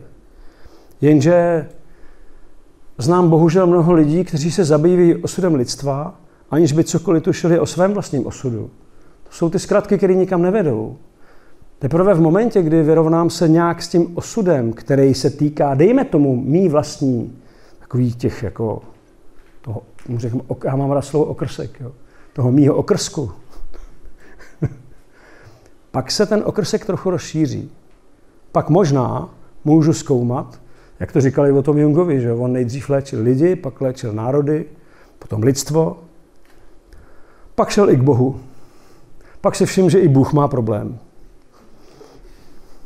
A jakože že má. Jo, to, o tom, myslím, těžko může být diskuze. Akorát já se jistě můžu zabývat problémem Boha a přitom poměrně jako nechápat svůj vlastní malý, drobný osud. Jo? V tom je asi to, co se snažím říct. Teprve v momentě, kdy člověk zvládne jako drobnou, malou věc, byť je malá, ona je ve skutečnosti poměrně velká, potom se mu rozšíří ten koridor, jo? potom může jít jako k tomu vyššímu levelu, pak může jít na ten vyšší stupeň a samozřejmě i na ten hlubší stupeň, protože to je spolu prostě propojeno. A pak možná si může položit tu otázku, sakra, co tady vlastně děláme? Jo? Ne, proč tady je můj táta, proč tady je moje máma, proč jsem tady já, proč tady vlastně jsme. Jo? Mám dojem, že zrovna dneska je ta otázka poměrně jako, jako docela exponovaná, jo? Co, co tady vlastně teda pohledáváme a co jsme se sem přišli naučit a co jsme přišli dát tomu, tomuhle tomu prostoru, ve kterém existujeme. A chtěl jsem říct úplně na závěr, než se pustíme do nějaké debaty, ještě takový příklad, ještě z jiného úhlu pohledu. Já jsem jednou přišel na takový seminář, dokonce jsem si ho předplatil, o astrologii. Ten chlap, co to ved, jako považoval jsem ho fakt za mistra, tak jsem se tam šel podívat. Měl jsem velmi zvláštní zážitek hnedka v první chvíli, protože on tam přišel takový vznešený muž. Můj vnitřní hlas mi řekl, to je jeden z těch, který potopili Atlantídu. Říkal jsem si, ty vole, můj vnitřní hlas, takovýhle keci prostě, kdo je na to zvědavý. Chlapík velmi sympatický, inteligentní, výborný. On každý, bylo pro mě zvláštní, první, co mě jako zarazilo, bylo, že tam sedělo asi 50, 50 lidí, 149 žen. Můj vnitřní hlas řekl, to jsou svíčkový báby. Jsem nevěděl přesně, co s tím jako myslí, ale bral jsem to tak. Eh, chtěl jsem si sednout dozadu, běžela ke mně jeho asistentka a řekla, pojďte, pojďte, vy tady máte místo vepředu, tady jako v té první řadě, jako jo, tak jsem si sedl do první řady. A pak jsem to teprve pochopil, protože každý měl, tam, kde jsme seděli, tak každý měl svůj horoskop. Jo, takhle sednete, prostě ten vám vykládá něco o horoskopech. A tady máte každý svůj horoskop, abyste si mohli podívat, jak to teda máte s tím horoskopem. A teď chlapík něco jako první část dobrý, nějaká, nějaký obecný úvod a pak šel k nějaký konkrétnější věci a řek. Tam mě to zašlo velmi zajímat. Řek. Existují taky osudové konstelace. Jo? V tom horoskopu to je všechno samozřejmě velmi dobře vidět. Jo? Například teď něco řekl, jo, Venuše, tadyhle, trigon, bla, bla, hexagram, ne, hexagon, já něco, prostě opozice, sextil. Já řekl, takový člověk je vlastně ztracený. Můj vnitřní hlas mi řekl, podívej se do svého horoskopu. Já jsem se podíval do svého horoskopu, tam přesně bylo to, o čem on mluvil. Úplně prostě doslova to, přesně to, jak to popisoval, tak to tam jako bylo v tom mém horoskopu. Říkám si, hm, tak to je taková jako náhodička zajímavá. Pak říkal, což to, to, co jsem teďka říkal, to je velký průšvih, jo. ale existuje ještě daleko příšernější konstelace prostě. To si skoro už nikdo vůbec nedovede představit. A to prakticky znamená, že ten člověk vůbec nemůže žít ani mezi lidma. Jako. A teď to, tohle máte, tohle, takhle, takhle. Můj, to už mi nemusel hlasně říkat, jsem se rovnou kouk. Bylo to tam. Já si říkám, no tak dobrý, tak jako kouknu k té sousedce, ne, říkám tam, máte to tam taky? ne, vůbec, jako vůbec. To tak. Tak jsem říkal, prosím vás, nezlobte se, že takhle jako obtěžuju uprostřed vašeho výkladu, ale eh, zrovna náhoda tomu tak chtěla, že ty dvě věci, o kterých vy mluvíte, které, jak je vidět, jsou neslučitelné vůbec se životem mezi ženami a mezi lidmi. Já to tady mám, jako. A on, aha, to, je zajímavý, jako by to nevěděl. A pak řekl, já mu říkám, rozumím dobře tomu, o čem mluvíte vy, že to jsou fatální věci, to znamená, že s tím nemůžu vůbec nic dělat. Musím přijmout tenhle ten průser absolutní, jako jo. Nemůžu žít s lidma, nemůžu žít se ženama. On řekl, no tak eh, se takhle ptáte, jako jo, tak já vám to teda řeknu. Vlastně to tak je. Je to osud, víte? Je to osud. Já říkám, skutečně, vůbec nic se s tím nedá dělat. Jako, je to takováhle katastrofa. Jako. A on řekl, no, takhle. Když už jsme u toho, jsem si říkal, to je, kdy máte možnost zeptat se takovýhleho černokněžníka prostě na něco, co vám vlastně chce i nechce říct, jako jo, prostě. A on řekl, osud je po většinu našeho života skrytý. Je skrytý. Je skrytý za těma věcma, na který je upřená naše pozornost, neboť my se vlastně obáváme uvidět v plný nahotě to, co jsem vám tady teď řekl. To máte v tom horoskopu. Jako. No dobře, a co teda? A on řekl, v životě se může tak dvakrát, třikrát stát, že se ten osud jako manifestuje. On se ukáže jako had, který vyleze z díry, prostě, jo? ve který celou dobu je skrytý. A jenom vás pozoruje. Pak ten osud chyťte pod krkem, mi řekl ten chlap. Jako. Chyťte ho pod krkem a držte ho. A nepouštějte. Dokud vám nedá to, co pro vás má. Já jsem šel domů úplně šťastný, říkal jsem si, to teď musím jenom počkat na tu chvíli, že jo. Pak teda chytit pod krkem ten osud, no a pak uvidíme. A já bych chtěl k tomu říct, že se domnívám, že, že jsme zase znovu jednou v takovém zvláštním momentě, kdy ten had z té díry vylez. On zase z té díry jako vylez. Jo. Nevím, kdo z vás zažil 89. 68. jsem zažil jako asi pěti, šestiletý chlapec. Pamatuju si ho dobře. Stáli jsme na návsi, začaly jezdit tanky.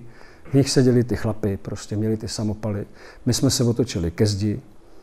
Jak jsme to znali z těch filmů, dali jsme ruce za záda. Čekali jsme, že nás teda zastřelí, což se teda nestalo. Ale jezdili takhle půl dne, jezdili ty tanky. Nikdy na to nezapomenu. Byla to ta chvíle, kdy ten osud se ukázal. Jako šestiletý chlapec jsem ho neuměl chytit pod krkem. Pak přišel rok 89. Ten osud se znovu ukázal. Znovu se manifestoval. Já miluju tu příhodu, asi už jsem ji někde říkal. Když poprvé lidi v Praze přišli na letnou, protože už jich bylo tolik, že se na Václavák nevešli, tak eh, se vypráví, že Ludvík Vaculík šel na tu tribúnu. Poněvadž on s těma, on s těma všema, co tam na té tribúně byli, on s nima zažil všechno. Kriminály a persekuce a prostě všechny tyhle věci. On s nima zažíval, to byla prostě ta parta, že jo. A do cesty se mu postavil takový chlapík, mladý kluk, a řekl mu, eh, pane Vaculíku, o čem tam budete mluvit? A on řekl, do toho je ti hovno. To byl Ludvík Vaculík. A on řekl, ne, ne, ne, to já nechci vás nějak lustrovat, ale jenom aby jsme dramaturgicky jako sestavili ty, ty projevy, víte, jako. A on řekl, to, co tam budu říkat, řeknu, až tam budu. A s tebou se o tom bavit nebudu. Eh, proto Ludvík Vaculík nemluvil na té tribuně. To my jsme nevěděli, že My jsme tak jako byli nadšený z té svobody, která přicházela. A já jsem po mnoha letech jsem se ptal jeho dcery, jestli je pravda tady ta historka. A ona řekla, jo, takhle to bylo. Opravdu ho tam nepustili. Já říkám, a co on chtěl říct?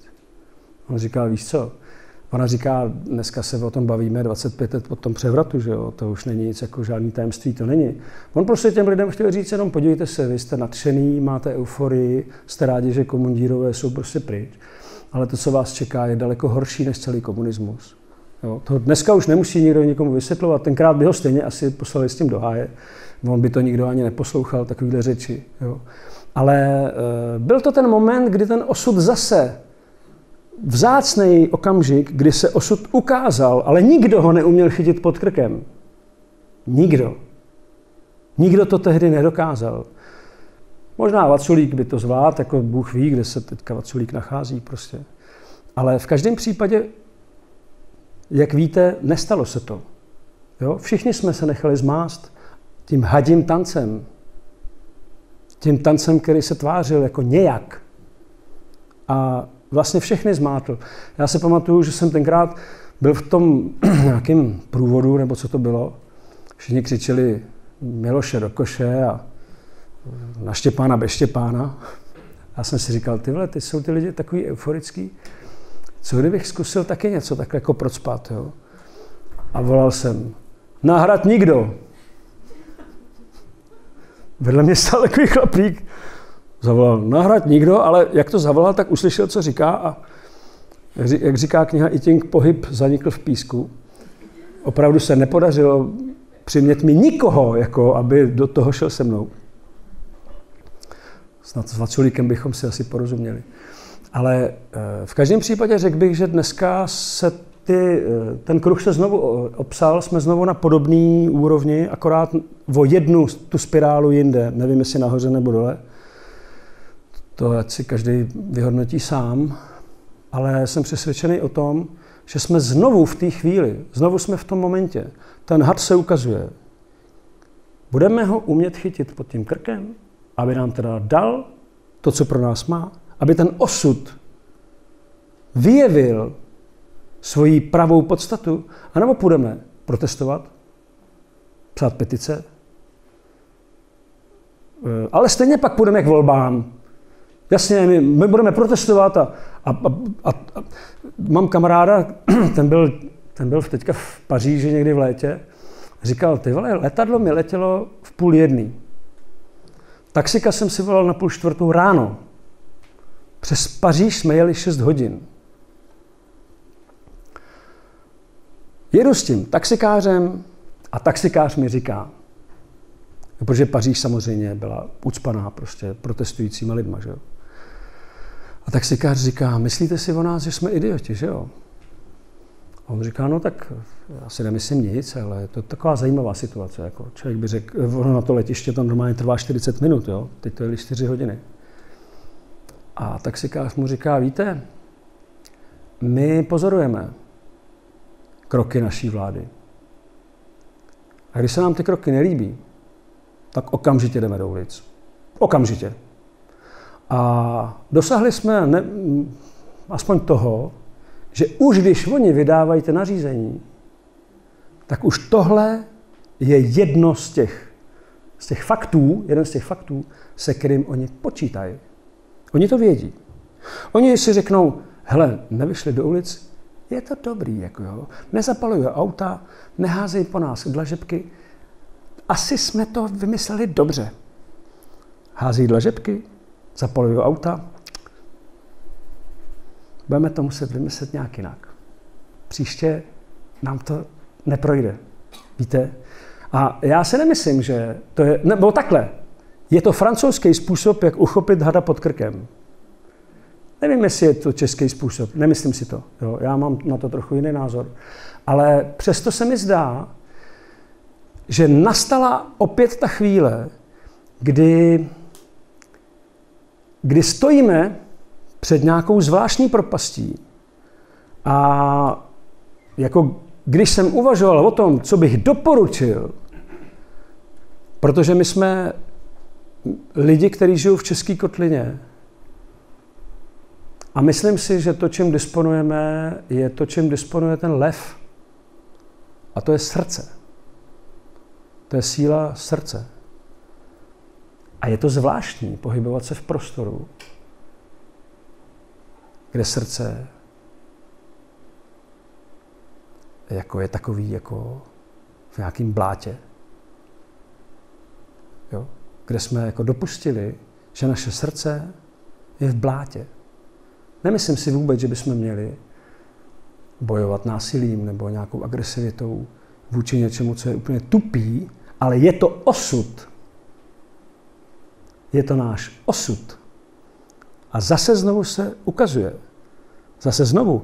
A jediný, co můžu říct jako psycholog, který to pozoruje už roky, až ono se to zase ztratí, ono to zase znovu zmizí, ono se to jako, mám rád to slovo zaléčí. Ono se to zaléčí. Až se to objeví znovu, tak uh, už to bude tak, že jako nad každým barákem bude ten dron. A až vystrčíte ten nos, tak vám ho ustřelej prostě, jo. Protože tohle už se děje. To je ten osud. To je ten osud, který se manifestuje. A my se bavíme o tom, jestli jako je v pořádku nosit roušku. To je perfektní, ne? Podařilo se opět jednou přesměrovat pozornost k něčemu, co není vůbec podstatný. Myslím si, že teď jsme v té chvíli, jo? jak říkám, eh, pokusil jsem se naznačit a ukázat, že jedna věc je osud každého z nás, protože každý z nás žije sám. Jo? Sám se narodí, sám umře, sám si klade mnoho otázek, na který možná nikdy nedostane žádnou odpověď, ale to je ten osud toho individua. Pak jsou osudy těch lidí, kteří žijou spolu, rodin, partnerů, rodičů, jo, dětí. To všechno k tomu patří. Ale pak jsou osudy těch komunit. Jo, pak jsou osudy těch drobných nějakých míst, pak, jsou, pak je osud, jako řekněme, toho, té země, toho národa, té Evropy, té Ameriky, toho lidstva, asi i Boha. Já jsem o tom, když jsem o tom přemýšlel, když jsem se na to ptal tam někam nahoru, tak mě bylo jasně sdělený, že tady to celé tady existuje proto, aby to božství uvidělo samo sebe. To je úplně stejný. To nemá žádný jiný důvod. Proč by to mělo mít jiný důvod? Jo, mnoho lidí řekne, to víte, Bůh je hodný, on nám dal život. Ne. To celý chce uvidět sebe sama. To celý sebe sama drží pod krkem. Aby si to řeklo, o co jde. Protože u kafe si to asi neřekne potřebuje být dotlačený k té nevyhnutelnosti. No, proto asi tomu říkáme osud. E, omlouvám se za takový, jakoby, ale říkal jsem si, musíme se toho dneska dotknout, protože mně se zdá, že jsme se dostali fakt daleko. Hodně daleko. Z mojí strany je to všechno. Co nebylo jasné, co by mělo být doplněno, proti čemu je třeba protestovat. Z toho, co bylo řečeno.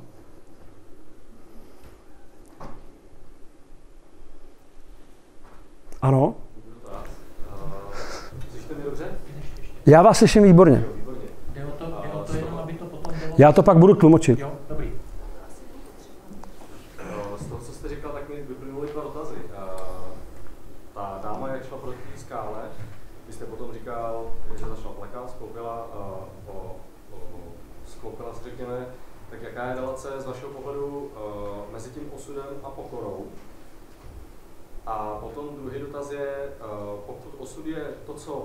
Nevím nebo nechápu, tak eh, pokud něco vím, nebo si myslím, že to vím a chápu to, eh, což nemusí eh, úplně znamenat, že to, co vím, je pravda. Ano, ano. mezi osudem a pravdou. Já čím dál víc chápu, proč Sokrates říkal, prosím vás, ptejte se vždycky jenom na jednu věc, protože když říkáte tu druhou, tak já už si tu první nepamatuju jsem si vždycky říkal, ten chlap nemohl být vůbec inteligentní. tak proč se o něm tolik píše, že jo? Ale uh, můžete mi říct ještě jednou tu první věc a pak teprve tu druhou. Eh, dobře, uh, první dotaz byl, uh, jaká je relace mezi osudem a pokorou s ohledem na tu příhodu s tou Ano, ano, ano, ano. A pojďme teďka, jo, a nechte si to... No, uh, je velmi zvláštní fenomén. Známe ho z pohádek, známe ho ze snů a dá se předpokládat, když potom studujeme, dejme tomu, i nějaký reálný životní situace, že eh, ta pokora, proto jsem mluvil o tom příkladu té paní, jo, která vyzkoušela všechny možné způsoby, jak jakoby obejít ten problém, který před ní byl manifestovaný. A teprve v momentě, kdy všechny vyzkoušela, tak se sklonila a řekla, ach já u Boha, došla jsem na konec svojí cesty. V pohádkách mimochodem doporučuji, má, Jung má velmi hezký takový esej, který se jmenuje Fenomenologie ducha v pohádkách.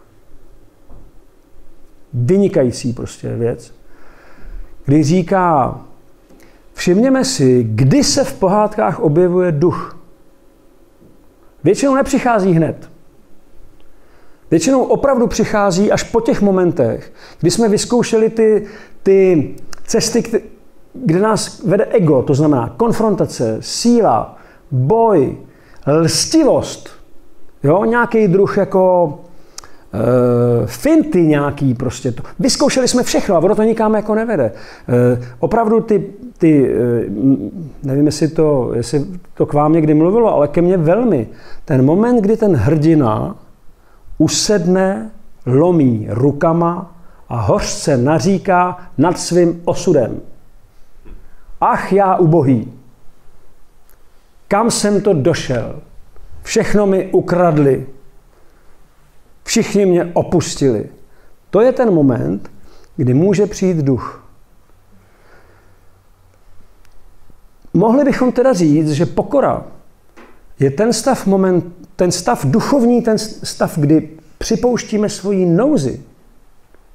Ne jako, já jsem měl známýho, vždycky mu říkám, když jsem ho potkal, mu říkám čau, čau, jak se ti daří? A on řekl, děkuji lépe, než si zasloužím.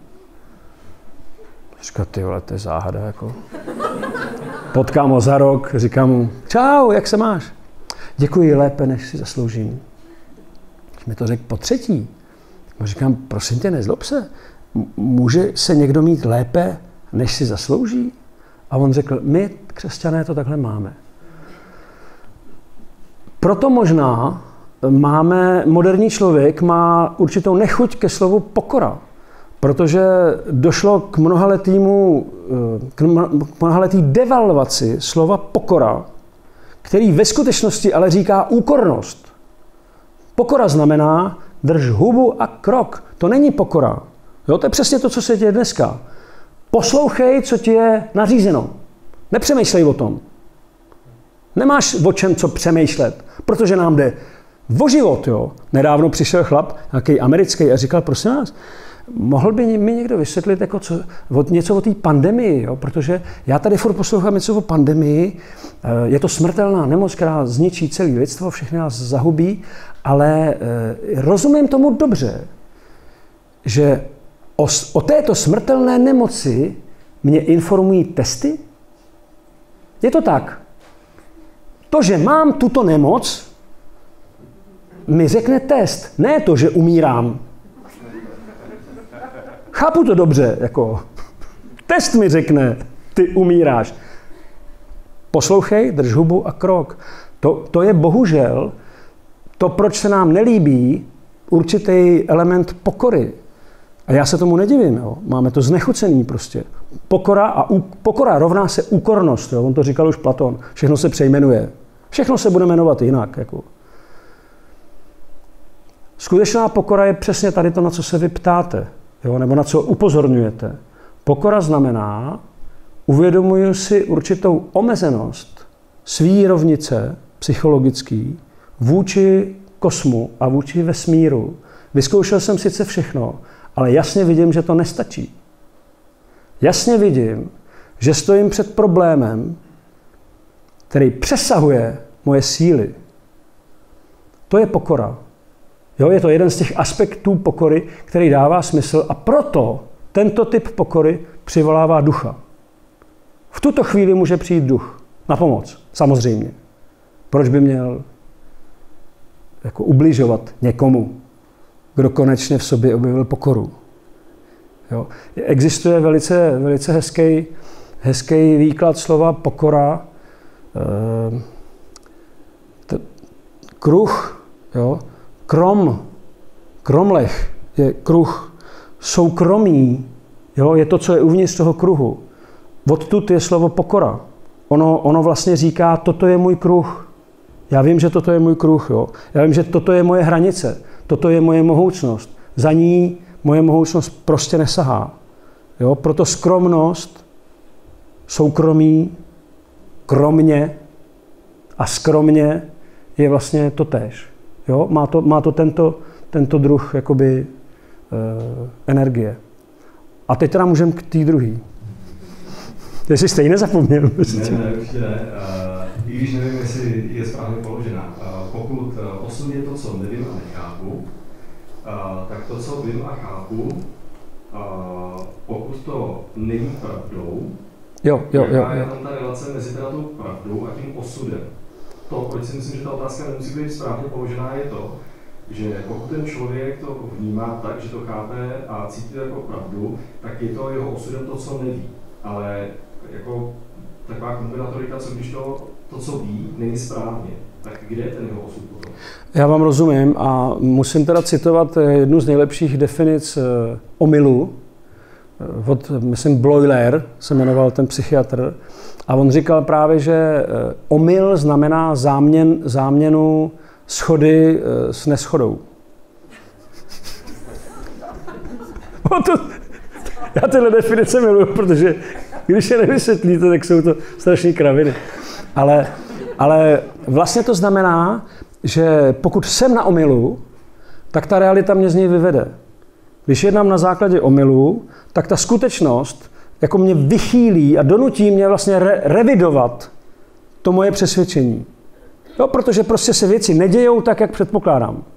Dějou se vlastně jinak. To je přesně to, co vy říkáte. Jo?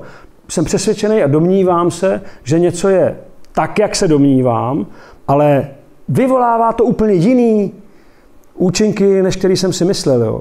Já miluji příklad eh, chlapíka, který napsal Stepního vlka, Herman Hesse, jo, nevím, jestli znáte tu knihu.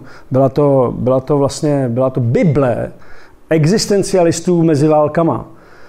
A já, mně se ta knížka teda nebyla špatná, nic proti tomu, ale nejvíc mě fascinoval doslov, ve kterém Herman Hesse napsal, tato kniha je oslava života, oslava optimismu a vztahu k Bohu.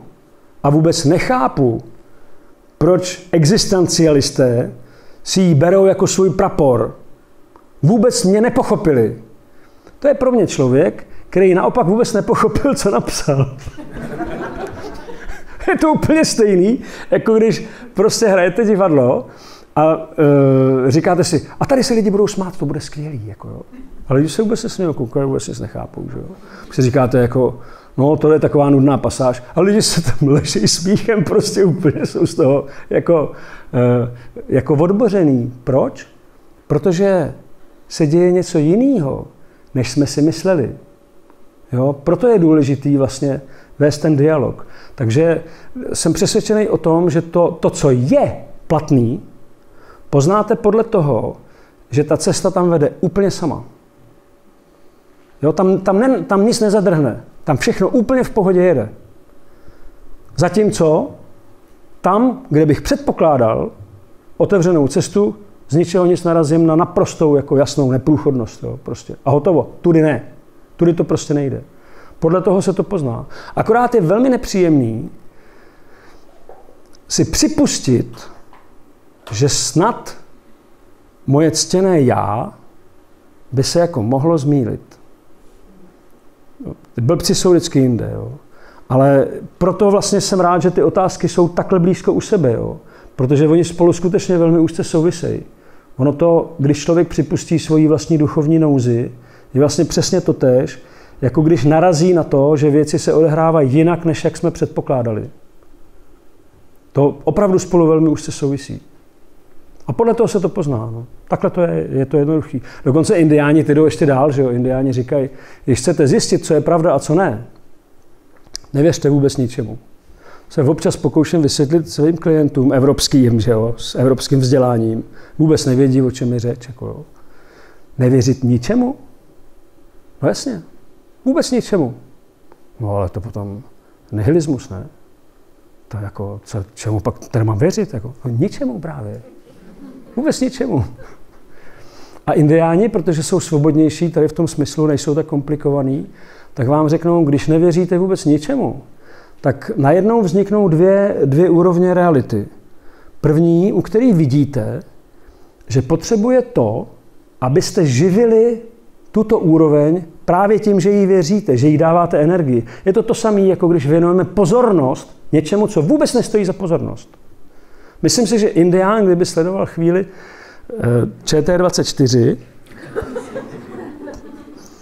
tak buď by jako omdlel, nebo by utek, nebo já nevím, co by jako dělal, ale rozhodně by to nemohl sledovat. Myslím si, že ani půl minuty by to nemohl dělat, jo? protože prostě by rovnou viděl, že tam není jako nic skutečný. Jo, skutečný je, je to jenom proto, že se na to lidi dívají a říkají, no to snad není možný. Co to zase je? Jako, jo. Takže čtyři u stolu nebo šest u stolu? Jako. A jak dlouho? A můžou mluvit? Ne, mluvit můžou, zpívat nesmějí. Aha, a smát se můžou. Ne, to je velice nebezpečný. Smát aerosol, ve vzduchu aerosol. Jako, jako, jo. Rozumíte, jo? A tohle, jako když budete sledovat, cokoliv z toho, tak eh, pokud nasadíte ten postoj indiánský, který říká, nevěřím ničemu z toho, ničemu z toho nevěřím, tak velmi rychle oddělíte skutečnost od iluze, protože iluze potřebuje právě tu energii a tu pozornost, aby mohla žít, aby mohla růst. Zajímavé na tom je, že když nevěříte vůbec ničemu, tak iluze prostě odpadne a skutečnost zůstane. To je na ní totiž zajímavý. Ona vůbec nepotřebuje, abyste jí věřili. To je totiž úplně jedno. To je ta zase zpátky jsme u té pokory. Skutečnost nepotřebuje od nás vůbec nic. Ve svém majestátu existuje a je úžasná. Úžasná. Zkuste si sednout ke stromu a mu nevěřit. Strome. Rychle to zjistíte. Jo? Nebo běžte na mráz. No, jaký mráz, jako co? Tady není žádný mráz. Jako. Co takový mráz? No? Takhle, takhle je to jednoduchý vlastně. Jo? Říkám, to je, my bohužel takhle jednoduše uvažovat nejsme schopní, ale myslím si, že by to taky nebylo špatné jako inspirace. Jo? Když potom člověk právě hledá to, co jakoby funguje a co vlastně nefunguje. Jo? Protože někdy je dobrý uh, i v těch složitých otázkách prostě mít jednodušší odpovědi, než jsou ty, které nám nabízí ten systém. Ty nás naopak zavádějí někam do nějakého houští, že jo. A pak nám řeknou, no vidíš, no. je to těžký, složitý takový, takový neuchopitelný, no. Relativní. Hodně relativní to je.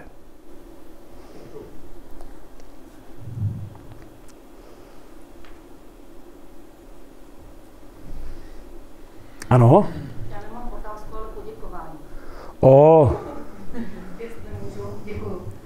Před pěti měsíci měl můj bratr velice těžkou nehodu a už jsem vystřílela, co se dalo, protože když byl mezi životem a smrtí, tak se na mě díval z toho druhého břehu a jsem říkala, že mu budu pomáhat, co budu moc. Došla jsem nakonec, kdy jsem si nevěděla rady a jak byste říkal, s pokorou jsem šla spát. A jenom jsem prosila osud, a vesmír, ať mi pomůže, ať mi řekne kam dál. A do toho snu jste přišel vy. a já eh, jsem v tom snu na vás tak koukala, jen když jsem vás neznala. V tom snu jsme si tykali, tak já jsem říkala, ale ty jsi ten, který u Jardy Duška hrá tam to na a dělá tam takovou podbaninou hezkou atmosféru. A ty si říkal, no, ale já jsem i psycholog a lékař a můžu tvýmu bratrovi pomoct. A mimo jiné, přijď za mnou i ty. Tak ráno jsem si na ten sen vzpomněla a neznala jsem vaše jméno. I když vy jste mi to tam říkal, tak já jsem si vzpomněla na Pierla, a teď jsem si říkala, Pierla, co? Vyhledala jsem to v Google, no a čirou náhodou, že si myslím, že ještě k té pokoře osudu patří i znamení. Ano. Vy jste pět dní na to měl být tady. A já jsem tady a docvaklo mi to. Aha, tak, děkuji. No to musím poděkovat asi já. To... Poděkujme osudu. Děkuji.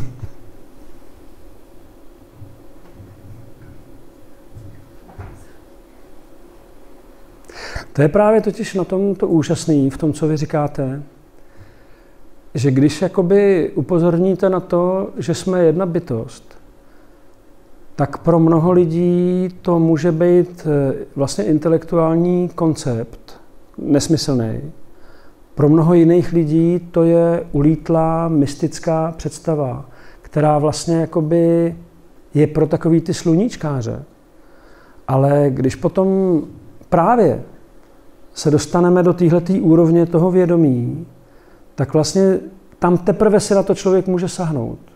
Jo, my jsme se nikdy v životě neviděli, ani nevím, jestli jsem to byl já, nebo jak to bylo, to je vlastně, ono je to jako úplně jedno, jo.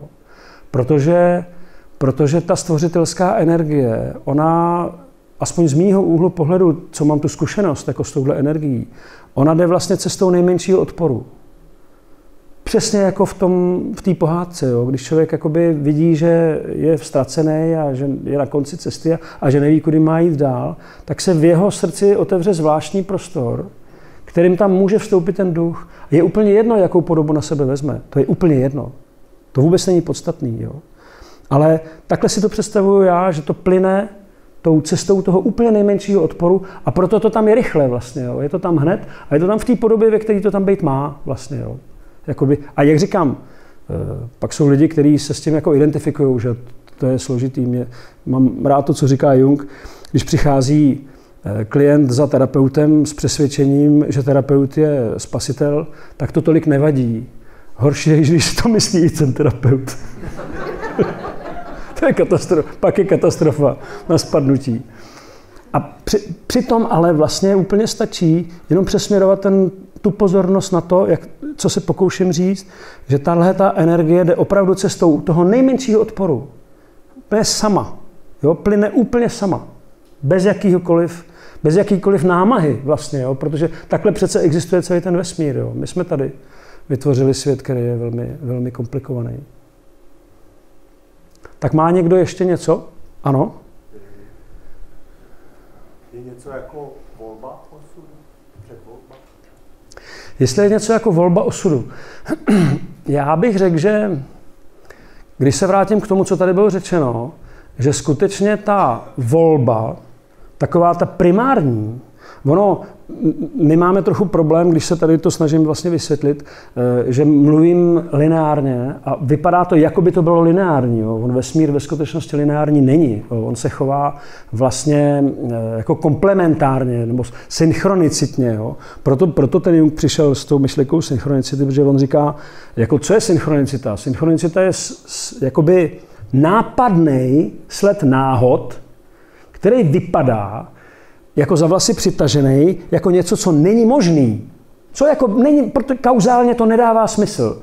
Ale pokud hledáme tu kauzalitu, tak ji právě najdeme v tom smyslu. To znamená, že jestliže se někomu opakují určité události, tak zřejmě je to jako ten message, který mu má být předaný přes ty jednotlivé náhody, který kauzálně jako kdyby nesouvisí. Že? Ale to, jak říkám, to, co je tou nití, která na sebe navlíká ty jednotlivé události, to je ten smysl, to, co má být sděleno.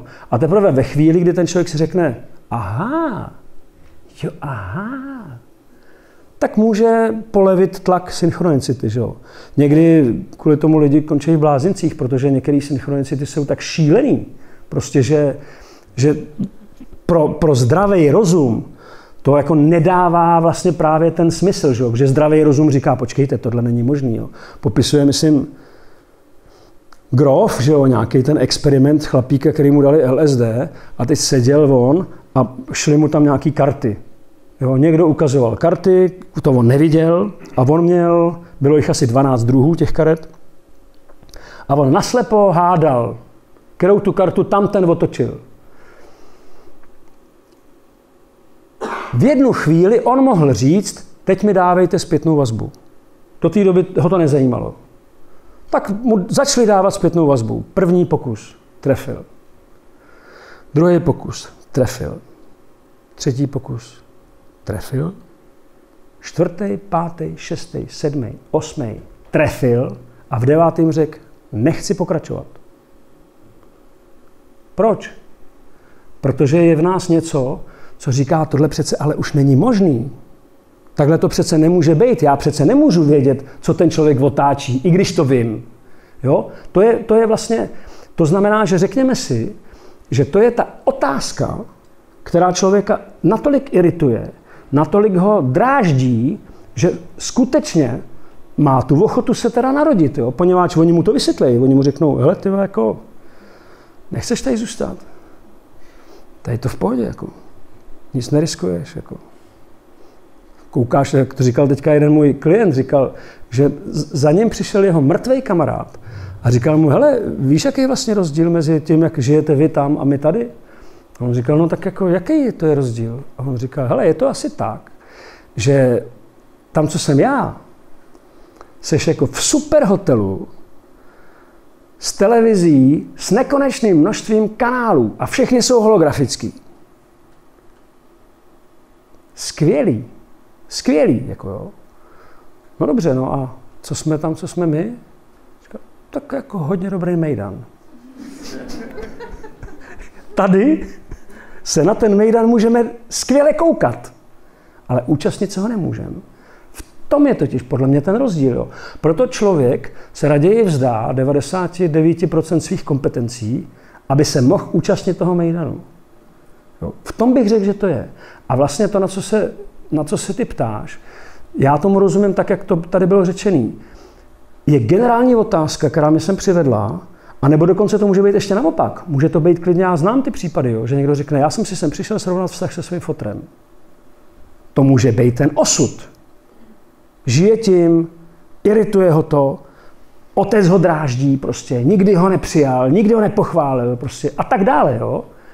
A pak se mu stane, je mu 50 let a už ho to nezajímá. Já mám jednu známou, která mi říkala, po smrti mýho otce za mnou začaly chodit duchové. A jak mi to řekla, tak si říkám, je to možný, jako, že by jako ty kompetence přešly z otce na tu dceru? Jo, že duchové komunikovali s otcem a když otec zemřel, tak duchové začali komunikovat s ní. Ona ještě vyprávěla výborný detail, že, že to brala jako psychickou poruchu, takže chodila za nějakým psychologem. Ona říkala, ten psycholog byl úplně mimo. Jo.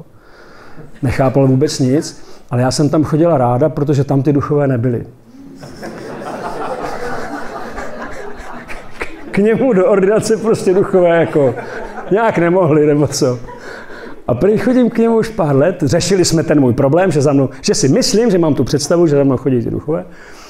A, a najednou tam přišel nějaký duch jako do, té ordinace a říká, já jsem jeho babička. Jako, a nemohla bys mu říct jako tady to a tamhle to a tohle. A, a ona s velkýma rozpakama, že jo, říká tomu terapeutovi, nezlobte se, zrovna teď je tady jeden duch a říká, že je vaše babička a tohle prý a tady to a ještě tamhle to. A ještě něco, na češ terapeut se rozplakal a říká, tohle je moje babička. My jsme si tohle nikdy nevyjasnili. Jako. A, a já jsem vždycky měl tu představu, že vlastně k této mojí kamarádce, jak říkám, že kompetenci nesl ten otec a když on odešel, ta kompetence přešla na tu dceru. Ale když jsme se potom spolu o tom víc bavili a ukazovali jsme si ty jednotlivé souvislosti, tak se ukázalo právě něco jiného. Že ona sama sobě nedovolila, aby za ní chodili duchové, protože její otec by to nestrpěl. To taky patří do nějakého typu osudu. Jo? Taky to do toho patří. A teprve, když otec zmizel, to znamená, už tam nebyla ta kuratela, už tam nebyl ten, kdo by tím byl frustrovaný, tak najednou duchové se tam nahrnuli, že jo? Za celých 25 let všichni, co čekali ve frontě. A vlastně to je podle mě jedna část toho osudu. Jo? Jakoby, taky přesně musím říct, že tato ženská mě fascinovala, protože když ke mně přišla do, do terapie, tak si sedla do toho křesla a řekla, proč já? To je další věc, která k osudu nevyhnutelně patří. Protože přesně, proč já? proč se tohle děje zrovna mně? Proč jsem zrovna já pronásledovaný tady tím? Proč zrovna já musím vždycky někam přijít a prostě jako, a tohle se stane, jo? Každý má něco, co s ním jakoby jde. Jo, nějaký druh postižení nebo, nebo stigmatu, něčeho, co prostě se týká opravdu jenom jeho. Všichni ostatní tam projdou, nic se jim nestane, projde tam tady ten a prostě spadne na něj hovno, že jo, prostě, jo. Vždycky. Jo. Jak je tohle možný? Jo. A vy mu řeknete, no to víš, to je tvůj osud, že jo, to je prostě to je tvůj osud. Ale e, znovu, to, znovu se snažím říct, že podle mě Lec, kdy člověk tu otázku ani nechápe, protože si ji vlastně nikdy vědomě nepoložil, jenom to žije. Jenom to vlastně žije. A teprve ve chvíli, kdy si tu otázku položí, stane se to jako vědomějším, tak skutečně to může integrovat. Může to integrovat. A už nemusí klást otázku, proč já, proč zrovna za mnou musí chodit duchové, si nemůžou vybrat někoho jiného. Prostě ne, chodí za, za, za tebou chodí. Prostě. Takhle to je. Že jo. Je to tvoje otázka. Je to to, co tebe irituje. To, co tebe jako vzrušuje vlastně. A teprve v momentě, kdy toto je integrováno, tak znovu říkám, člověk jako kdyby překračuje hranici svého osobního okrsku a dostává se do reality, která je daleko skutečnější a pak teprve kouká, co je vlastně svět. Jo, že to, jakoby, já vím, že když jsem ve snu jednou se setkal se stvořitelem, tak na závěr jsem fakt, to bylo, bylo setkání neuvěřitelný a já mu nakonec říkám, mám to chápat tak, že s tebou fakt jako mluvím? A on se tak jako usmál a řekl, on mluví s ním. To se těžko chápe. Jo? Protože my jsme hodně v té osobní rovnici právě. Těžko chápeme to tak, že on mluví s ním, když já mluvím s tebou. A on říká, ne, ne, ne, on mluví s ním. A to je ten moment, kdy ten osud dostává jako jiný, jinou úroveň. Jo, on dostává vlastně, někdo by tomu řekl neosobní, ale já bych spíš řekl, že je jako nadosobní. Ona je jako víc než osobní, jo? protože když si tohle to vezmete do důsledku, tak eh, dokud zůstávám ve své osobní rovnici, tak existence druhých lidí je pro mě vlastně nesnesitelná. Nikdo z nich mi nemůže porozumět. Jo, nikdo z nich mi nemůže vyhovět.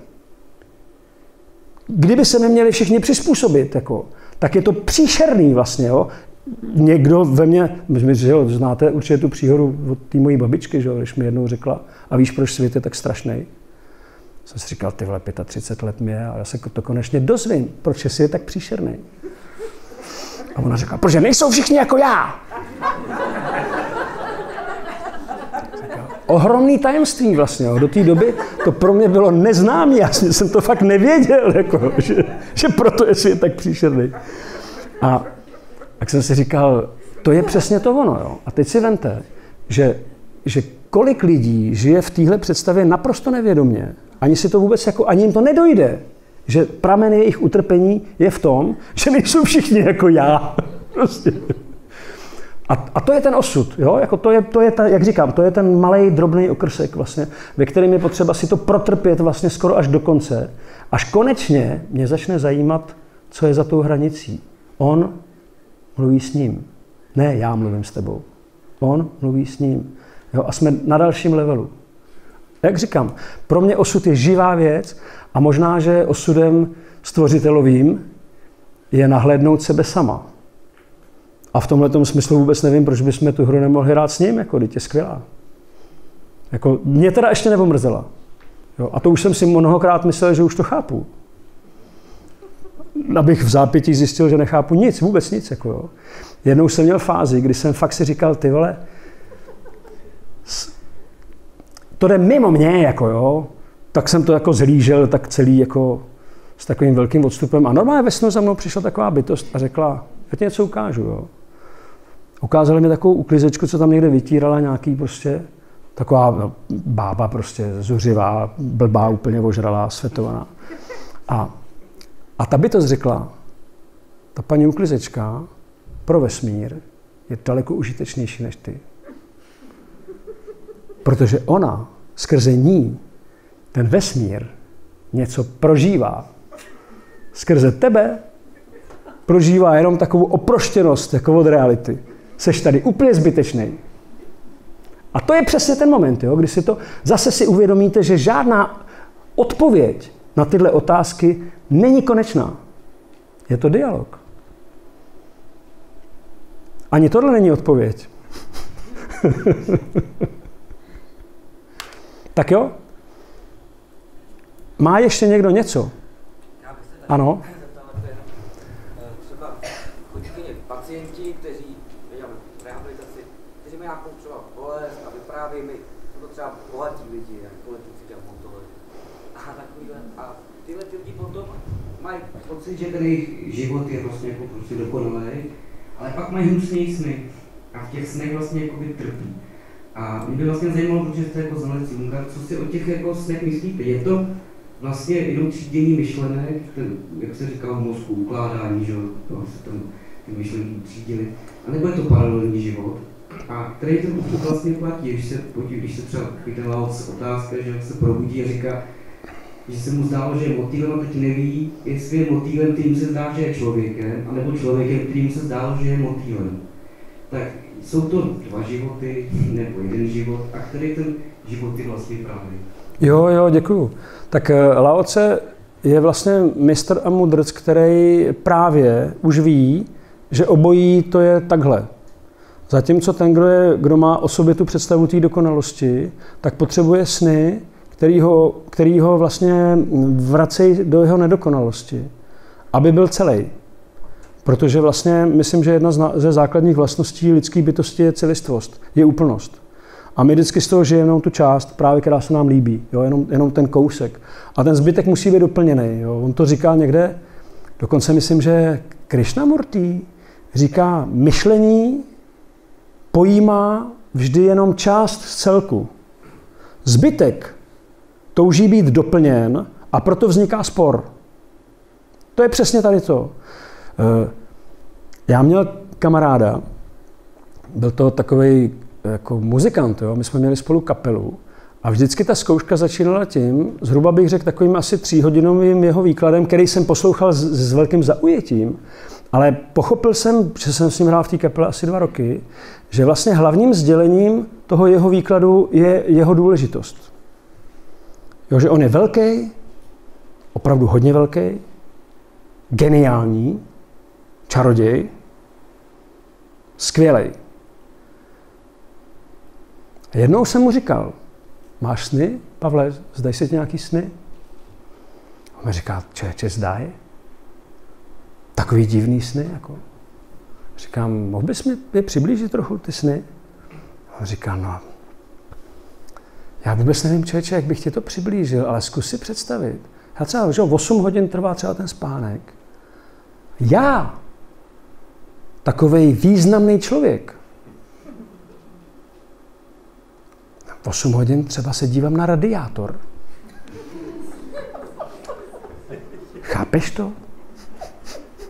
To je těžký.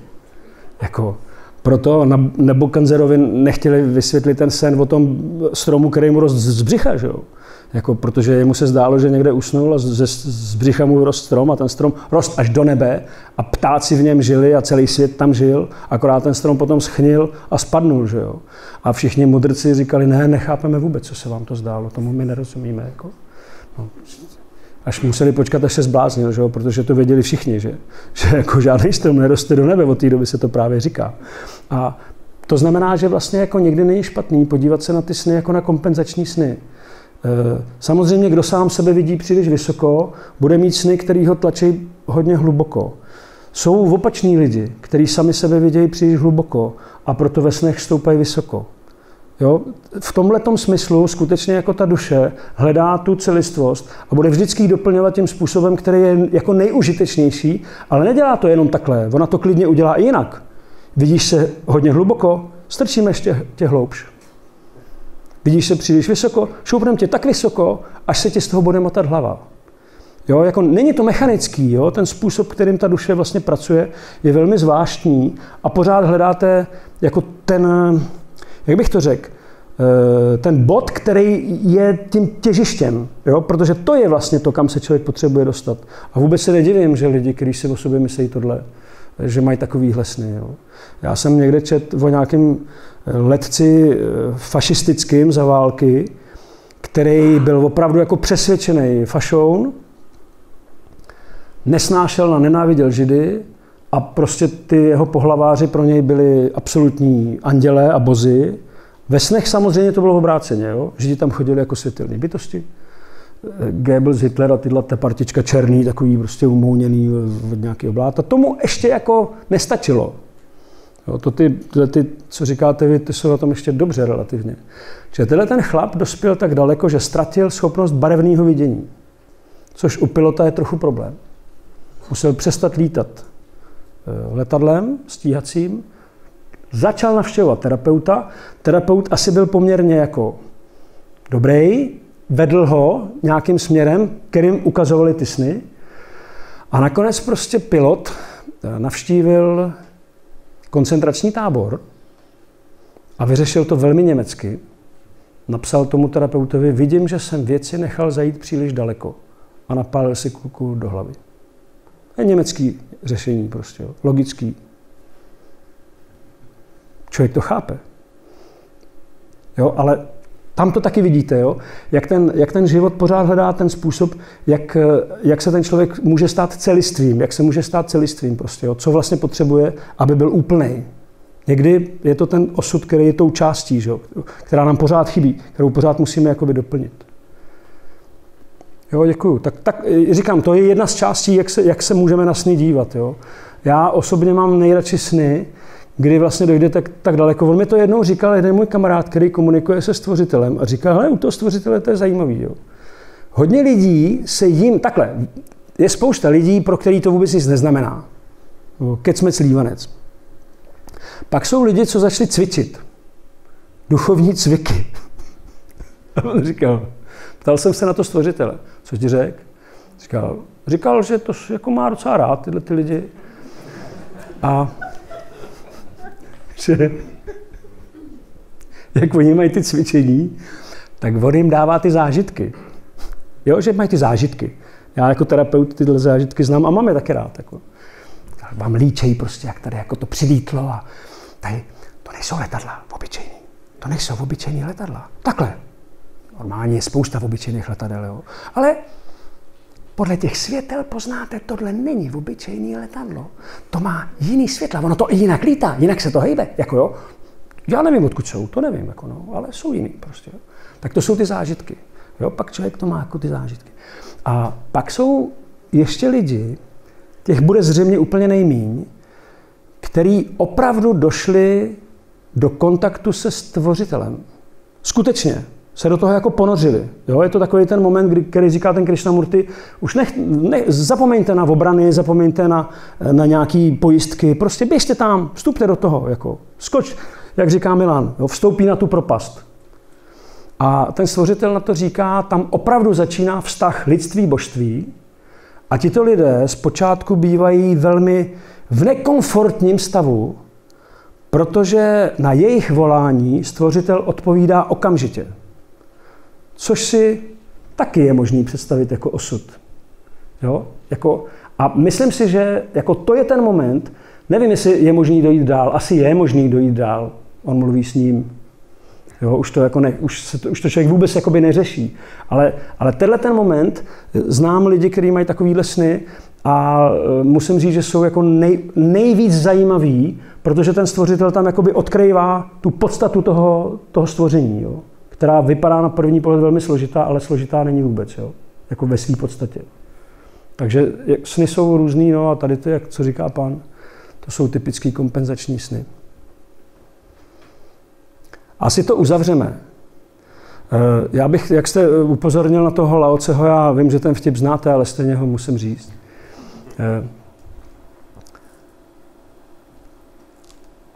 Když už teda ten složitel se nám sem dostal, jo, ale on tady, myslím, není náhodou, jo, když se bavíme v osudu, tak si zavolá Ježíše a říká mu, Ježíš, já mám pro tebe tady něco. Ukazuje mu takovou žlutou tekutinu.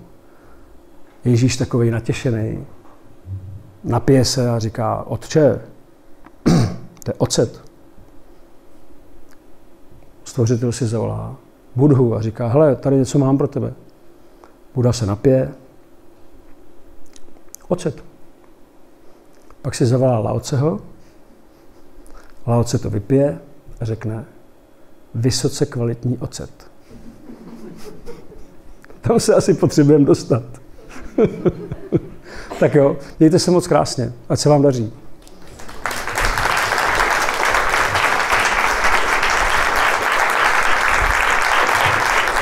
Děkuji.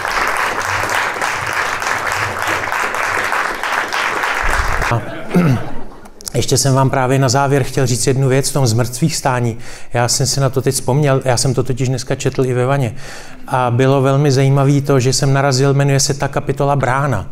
A je to moment, kdy Pierre vlastně všechno měl hotový a odchází z toho domu a e, jde si takhle tou přírodou, protože bydlí tam, kde je takový údolí, takový klín, takové nádherné ženy. To vlastně připomíná, když do toho koukáte.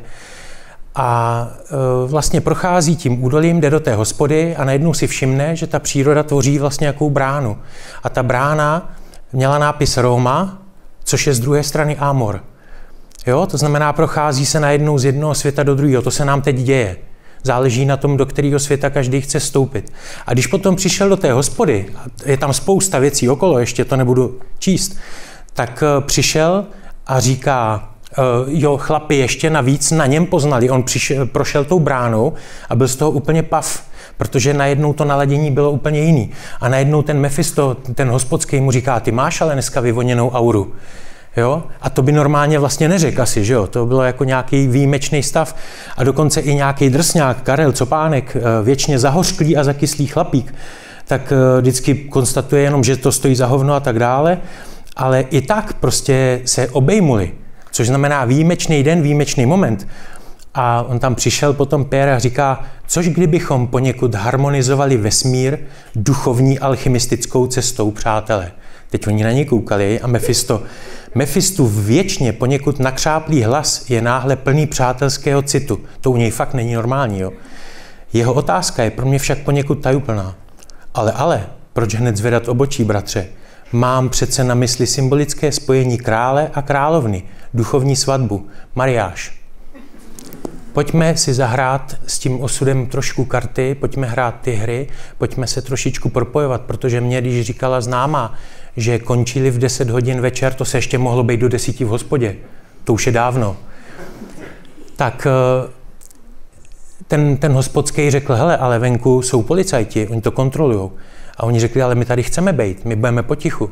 Takže on lidi, který neznal, pustil pryč, zatáhnul, zhasnul a byli tam při svíčce, začali chlastat, ale říkal, nikdo se neožral do bezvědomí, ale říkali, že to, co zažili do těch pěti do rána, jak se to vlastně stmelilo, to, co tam zažili, říkali, že spousta lidí tohle nezažila, nebo už si ani na to skoro nepamatujou. Jak tam najednou bylo příjemně, jak eh, odcházeli domů po dvou potají od někud, že, že je pouštěl jako vy, eh, vyloženě je to takový to spojení. Je to zajímavý, ale možná nás ten prostor ještě spojí. Tak ať nás spojí co nejlíp. Děkuji za pozornost a krásný večer.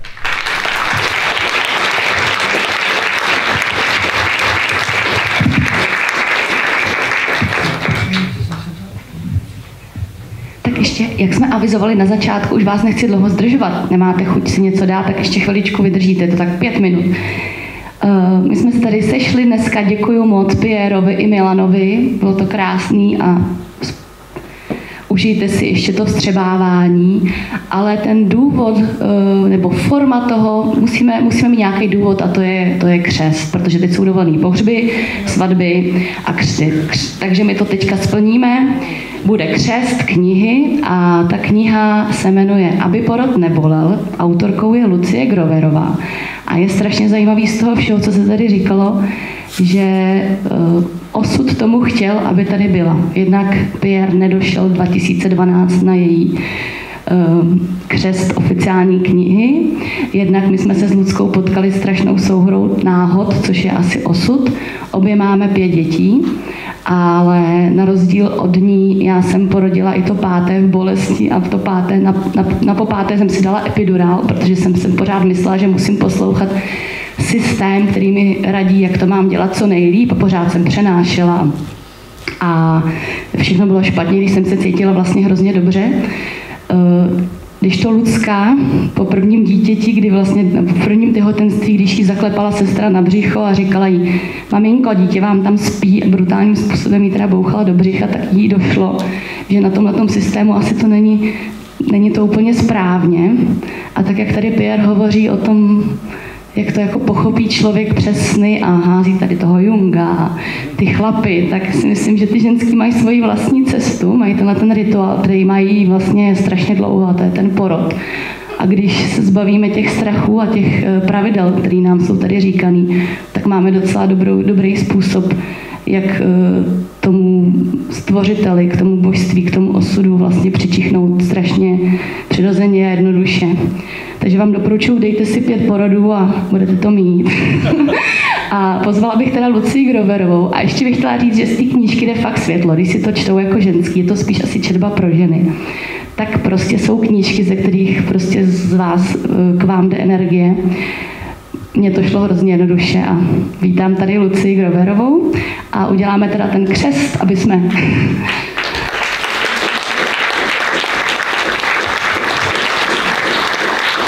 tomu něco říct, Luci? Ráda bych. Dobrý večer. Eh, já, já vám jenom chci říct, abyste se nelekali nebo nedivili, jako, že porod sem vlastně nepatří a že něco takového třeba nemáte v plánu už, a nebo že jste muži a vlastně se vás vůbec netýká to téma. Já bych vám chtěla právě říct, že porod je téma, které se týká nás všech, protože prostřednictvím porodu jsme sem všichni přišli tady na tu planetu Zemi a takovým způsobem, jakým na ten svět jsme přišli, tak takovým způsobem máme pořád jakoby tendence eh, ten život prožívat. To, co se nám během porodu jakoby otisklo do toho našeho limbického otisku, tak na tom základě my vlastně pořád, pořád, pořád nějakým způsobem v těch takzvaně větých kolejích eh, fungujeme v tom životě. A ty naše porody už hodně dlouho, hodně, hodně generací eh, bylo jedno velké drama. Tady na začátku vlastně bylo zmíněné to drama, že pořád prožíváme ten život jako drama. Aha jenom zkusím to. Tak eh, vlastně ty naše příchody na svět byly jedno velké drama. Já jsem měla to štěstí, že jsem vlastně to drama zažila jenom jednou, při teda dvakrát při mém příchodu a potom, když se narodil nejstarší syn před 21 lety a tam jsem se právě rozhodla, že tohle to rozhodně není moje cesta. Můžeš mi to podržet, mě se strašně klepe ruka. a, a všechny ty další děti už jsem nepřivedla na svět v nemocnici, věci, eh, už jsem si do toho nenechala mluvit, ale přivedla jsem je na svět doma, do svých rukou a tři z těch pěti porodů jsem celé prospívali. prospívala. Ty porody trvaly půl hodiny od té doby, co jsem se rozhodla, že, nebo prostě jsem věděla, že jdu rodit, tak do půl hodiny jsem měla eh, všechny děti eh, ve svých rukou. Takže ten porod, tak jak nám byl původně dán, je nádherná záležitost. Ta knížka se jmenuje Aby porod nebolel, protože jsem právě zažila porody bez bolesti, zažila jsem porody jako ohromnou euforii a musím říct, že bych to opravdu všem ženám eh, velice přála, všem nám lidem bych to velice přála, aby se nám vrátila vlastně zpátky tenhle ten náš dar, který jsme dostali. A když jsem mluvila o tom dramatu, tak my si vlastně vůbec neuvědomujeme eh, dneska, když nám tady nasadějí ty roušky a pokud v nich nějakou dobu budeme chodit, tak ty generace, co se teďka přijdou, tak to budou považovat za samozřejmost, protože v tom vyrostou. A stejně tak my považujeme za samozřejmost porody v nemocnici, kdy ženy leží na zádech, na lopatkách. Všichni víme, co to znamená, když někdo někoho položí na lopatky, připraví ho o jeho vlastní sílu. A ve chvíli, kdy přijde o sílu rodící žena, tak úplně automaticky přichází o sílu i ten rodící se člověk. Takže my jsme o tu svoji životní sílu přišli hnedka vlastně na začátku té naší životní cesty. A já už to zkrátím, ale ještě bych vám ještě bych vám chtěla říct takovou, takové okénko vhled eh, do světa porodnic. Něco takového jako porodnice, takové domy nějaké, vznikly ve starém Egyptě kdysi. Eh, do těch domů chodily rodit ženy otrokyně. Ženy vlastně z těch vysokých kast rodily doma. Eh, rodily ani ne s porodníma bábama, protože porodní báby už přicházely jenom, když bylo nějaká komplikace.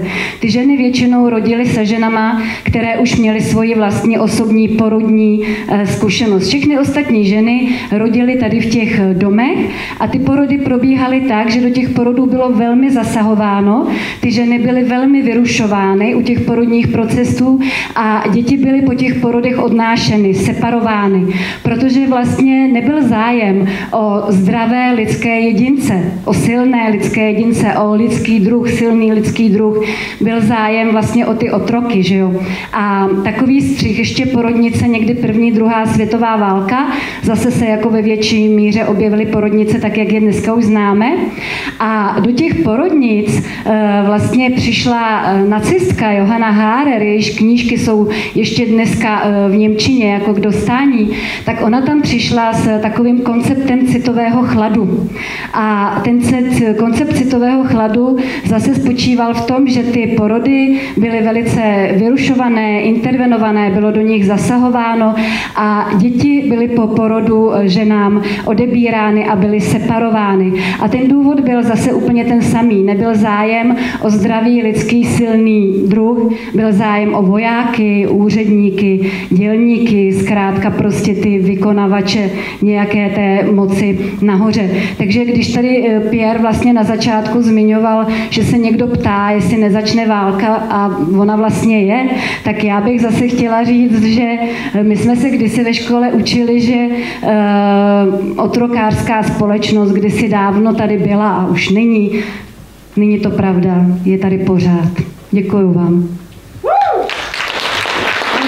Lucek Roberová bude 21. října pod Třešní mít hovory pod Třešní a my to teda nějak uděláme, aby to tam bylo, i když se to nesmí. No.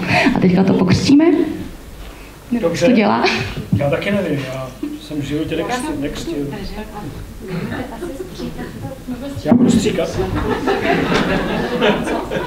Ty tady prostě budeš pít to šampanský. Proč nepodpírete?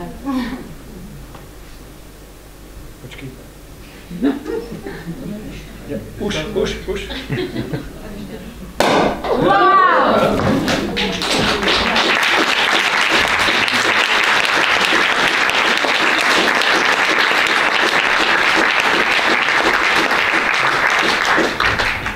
Tak všem na zdraví prostě.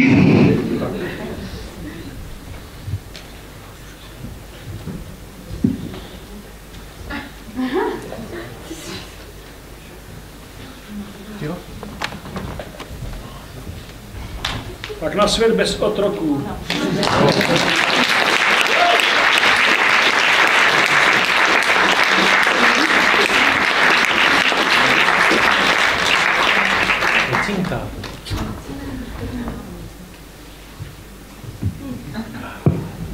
Úplně poslední věc, než se dozejdem, uh, má nový film o Jungovi, povedený kacíř, říkám to správně, tak já ho si ho tady odchytnu a domluvíme se na projekci tady na Kladně. Tady, tady v Dimenzi by vám to vyhovovalo asi.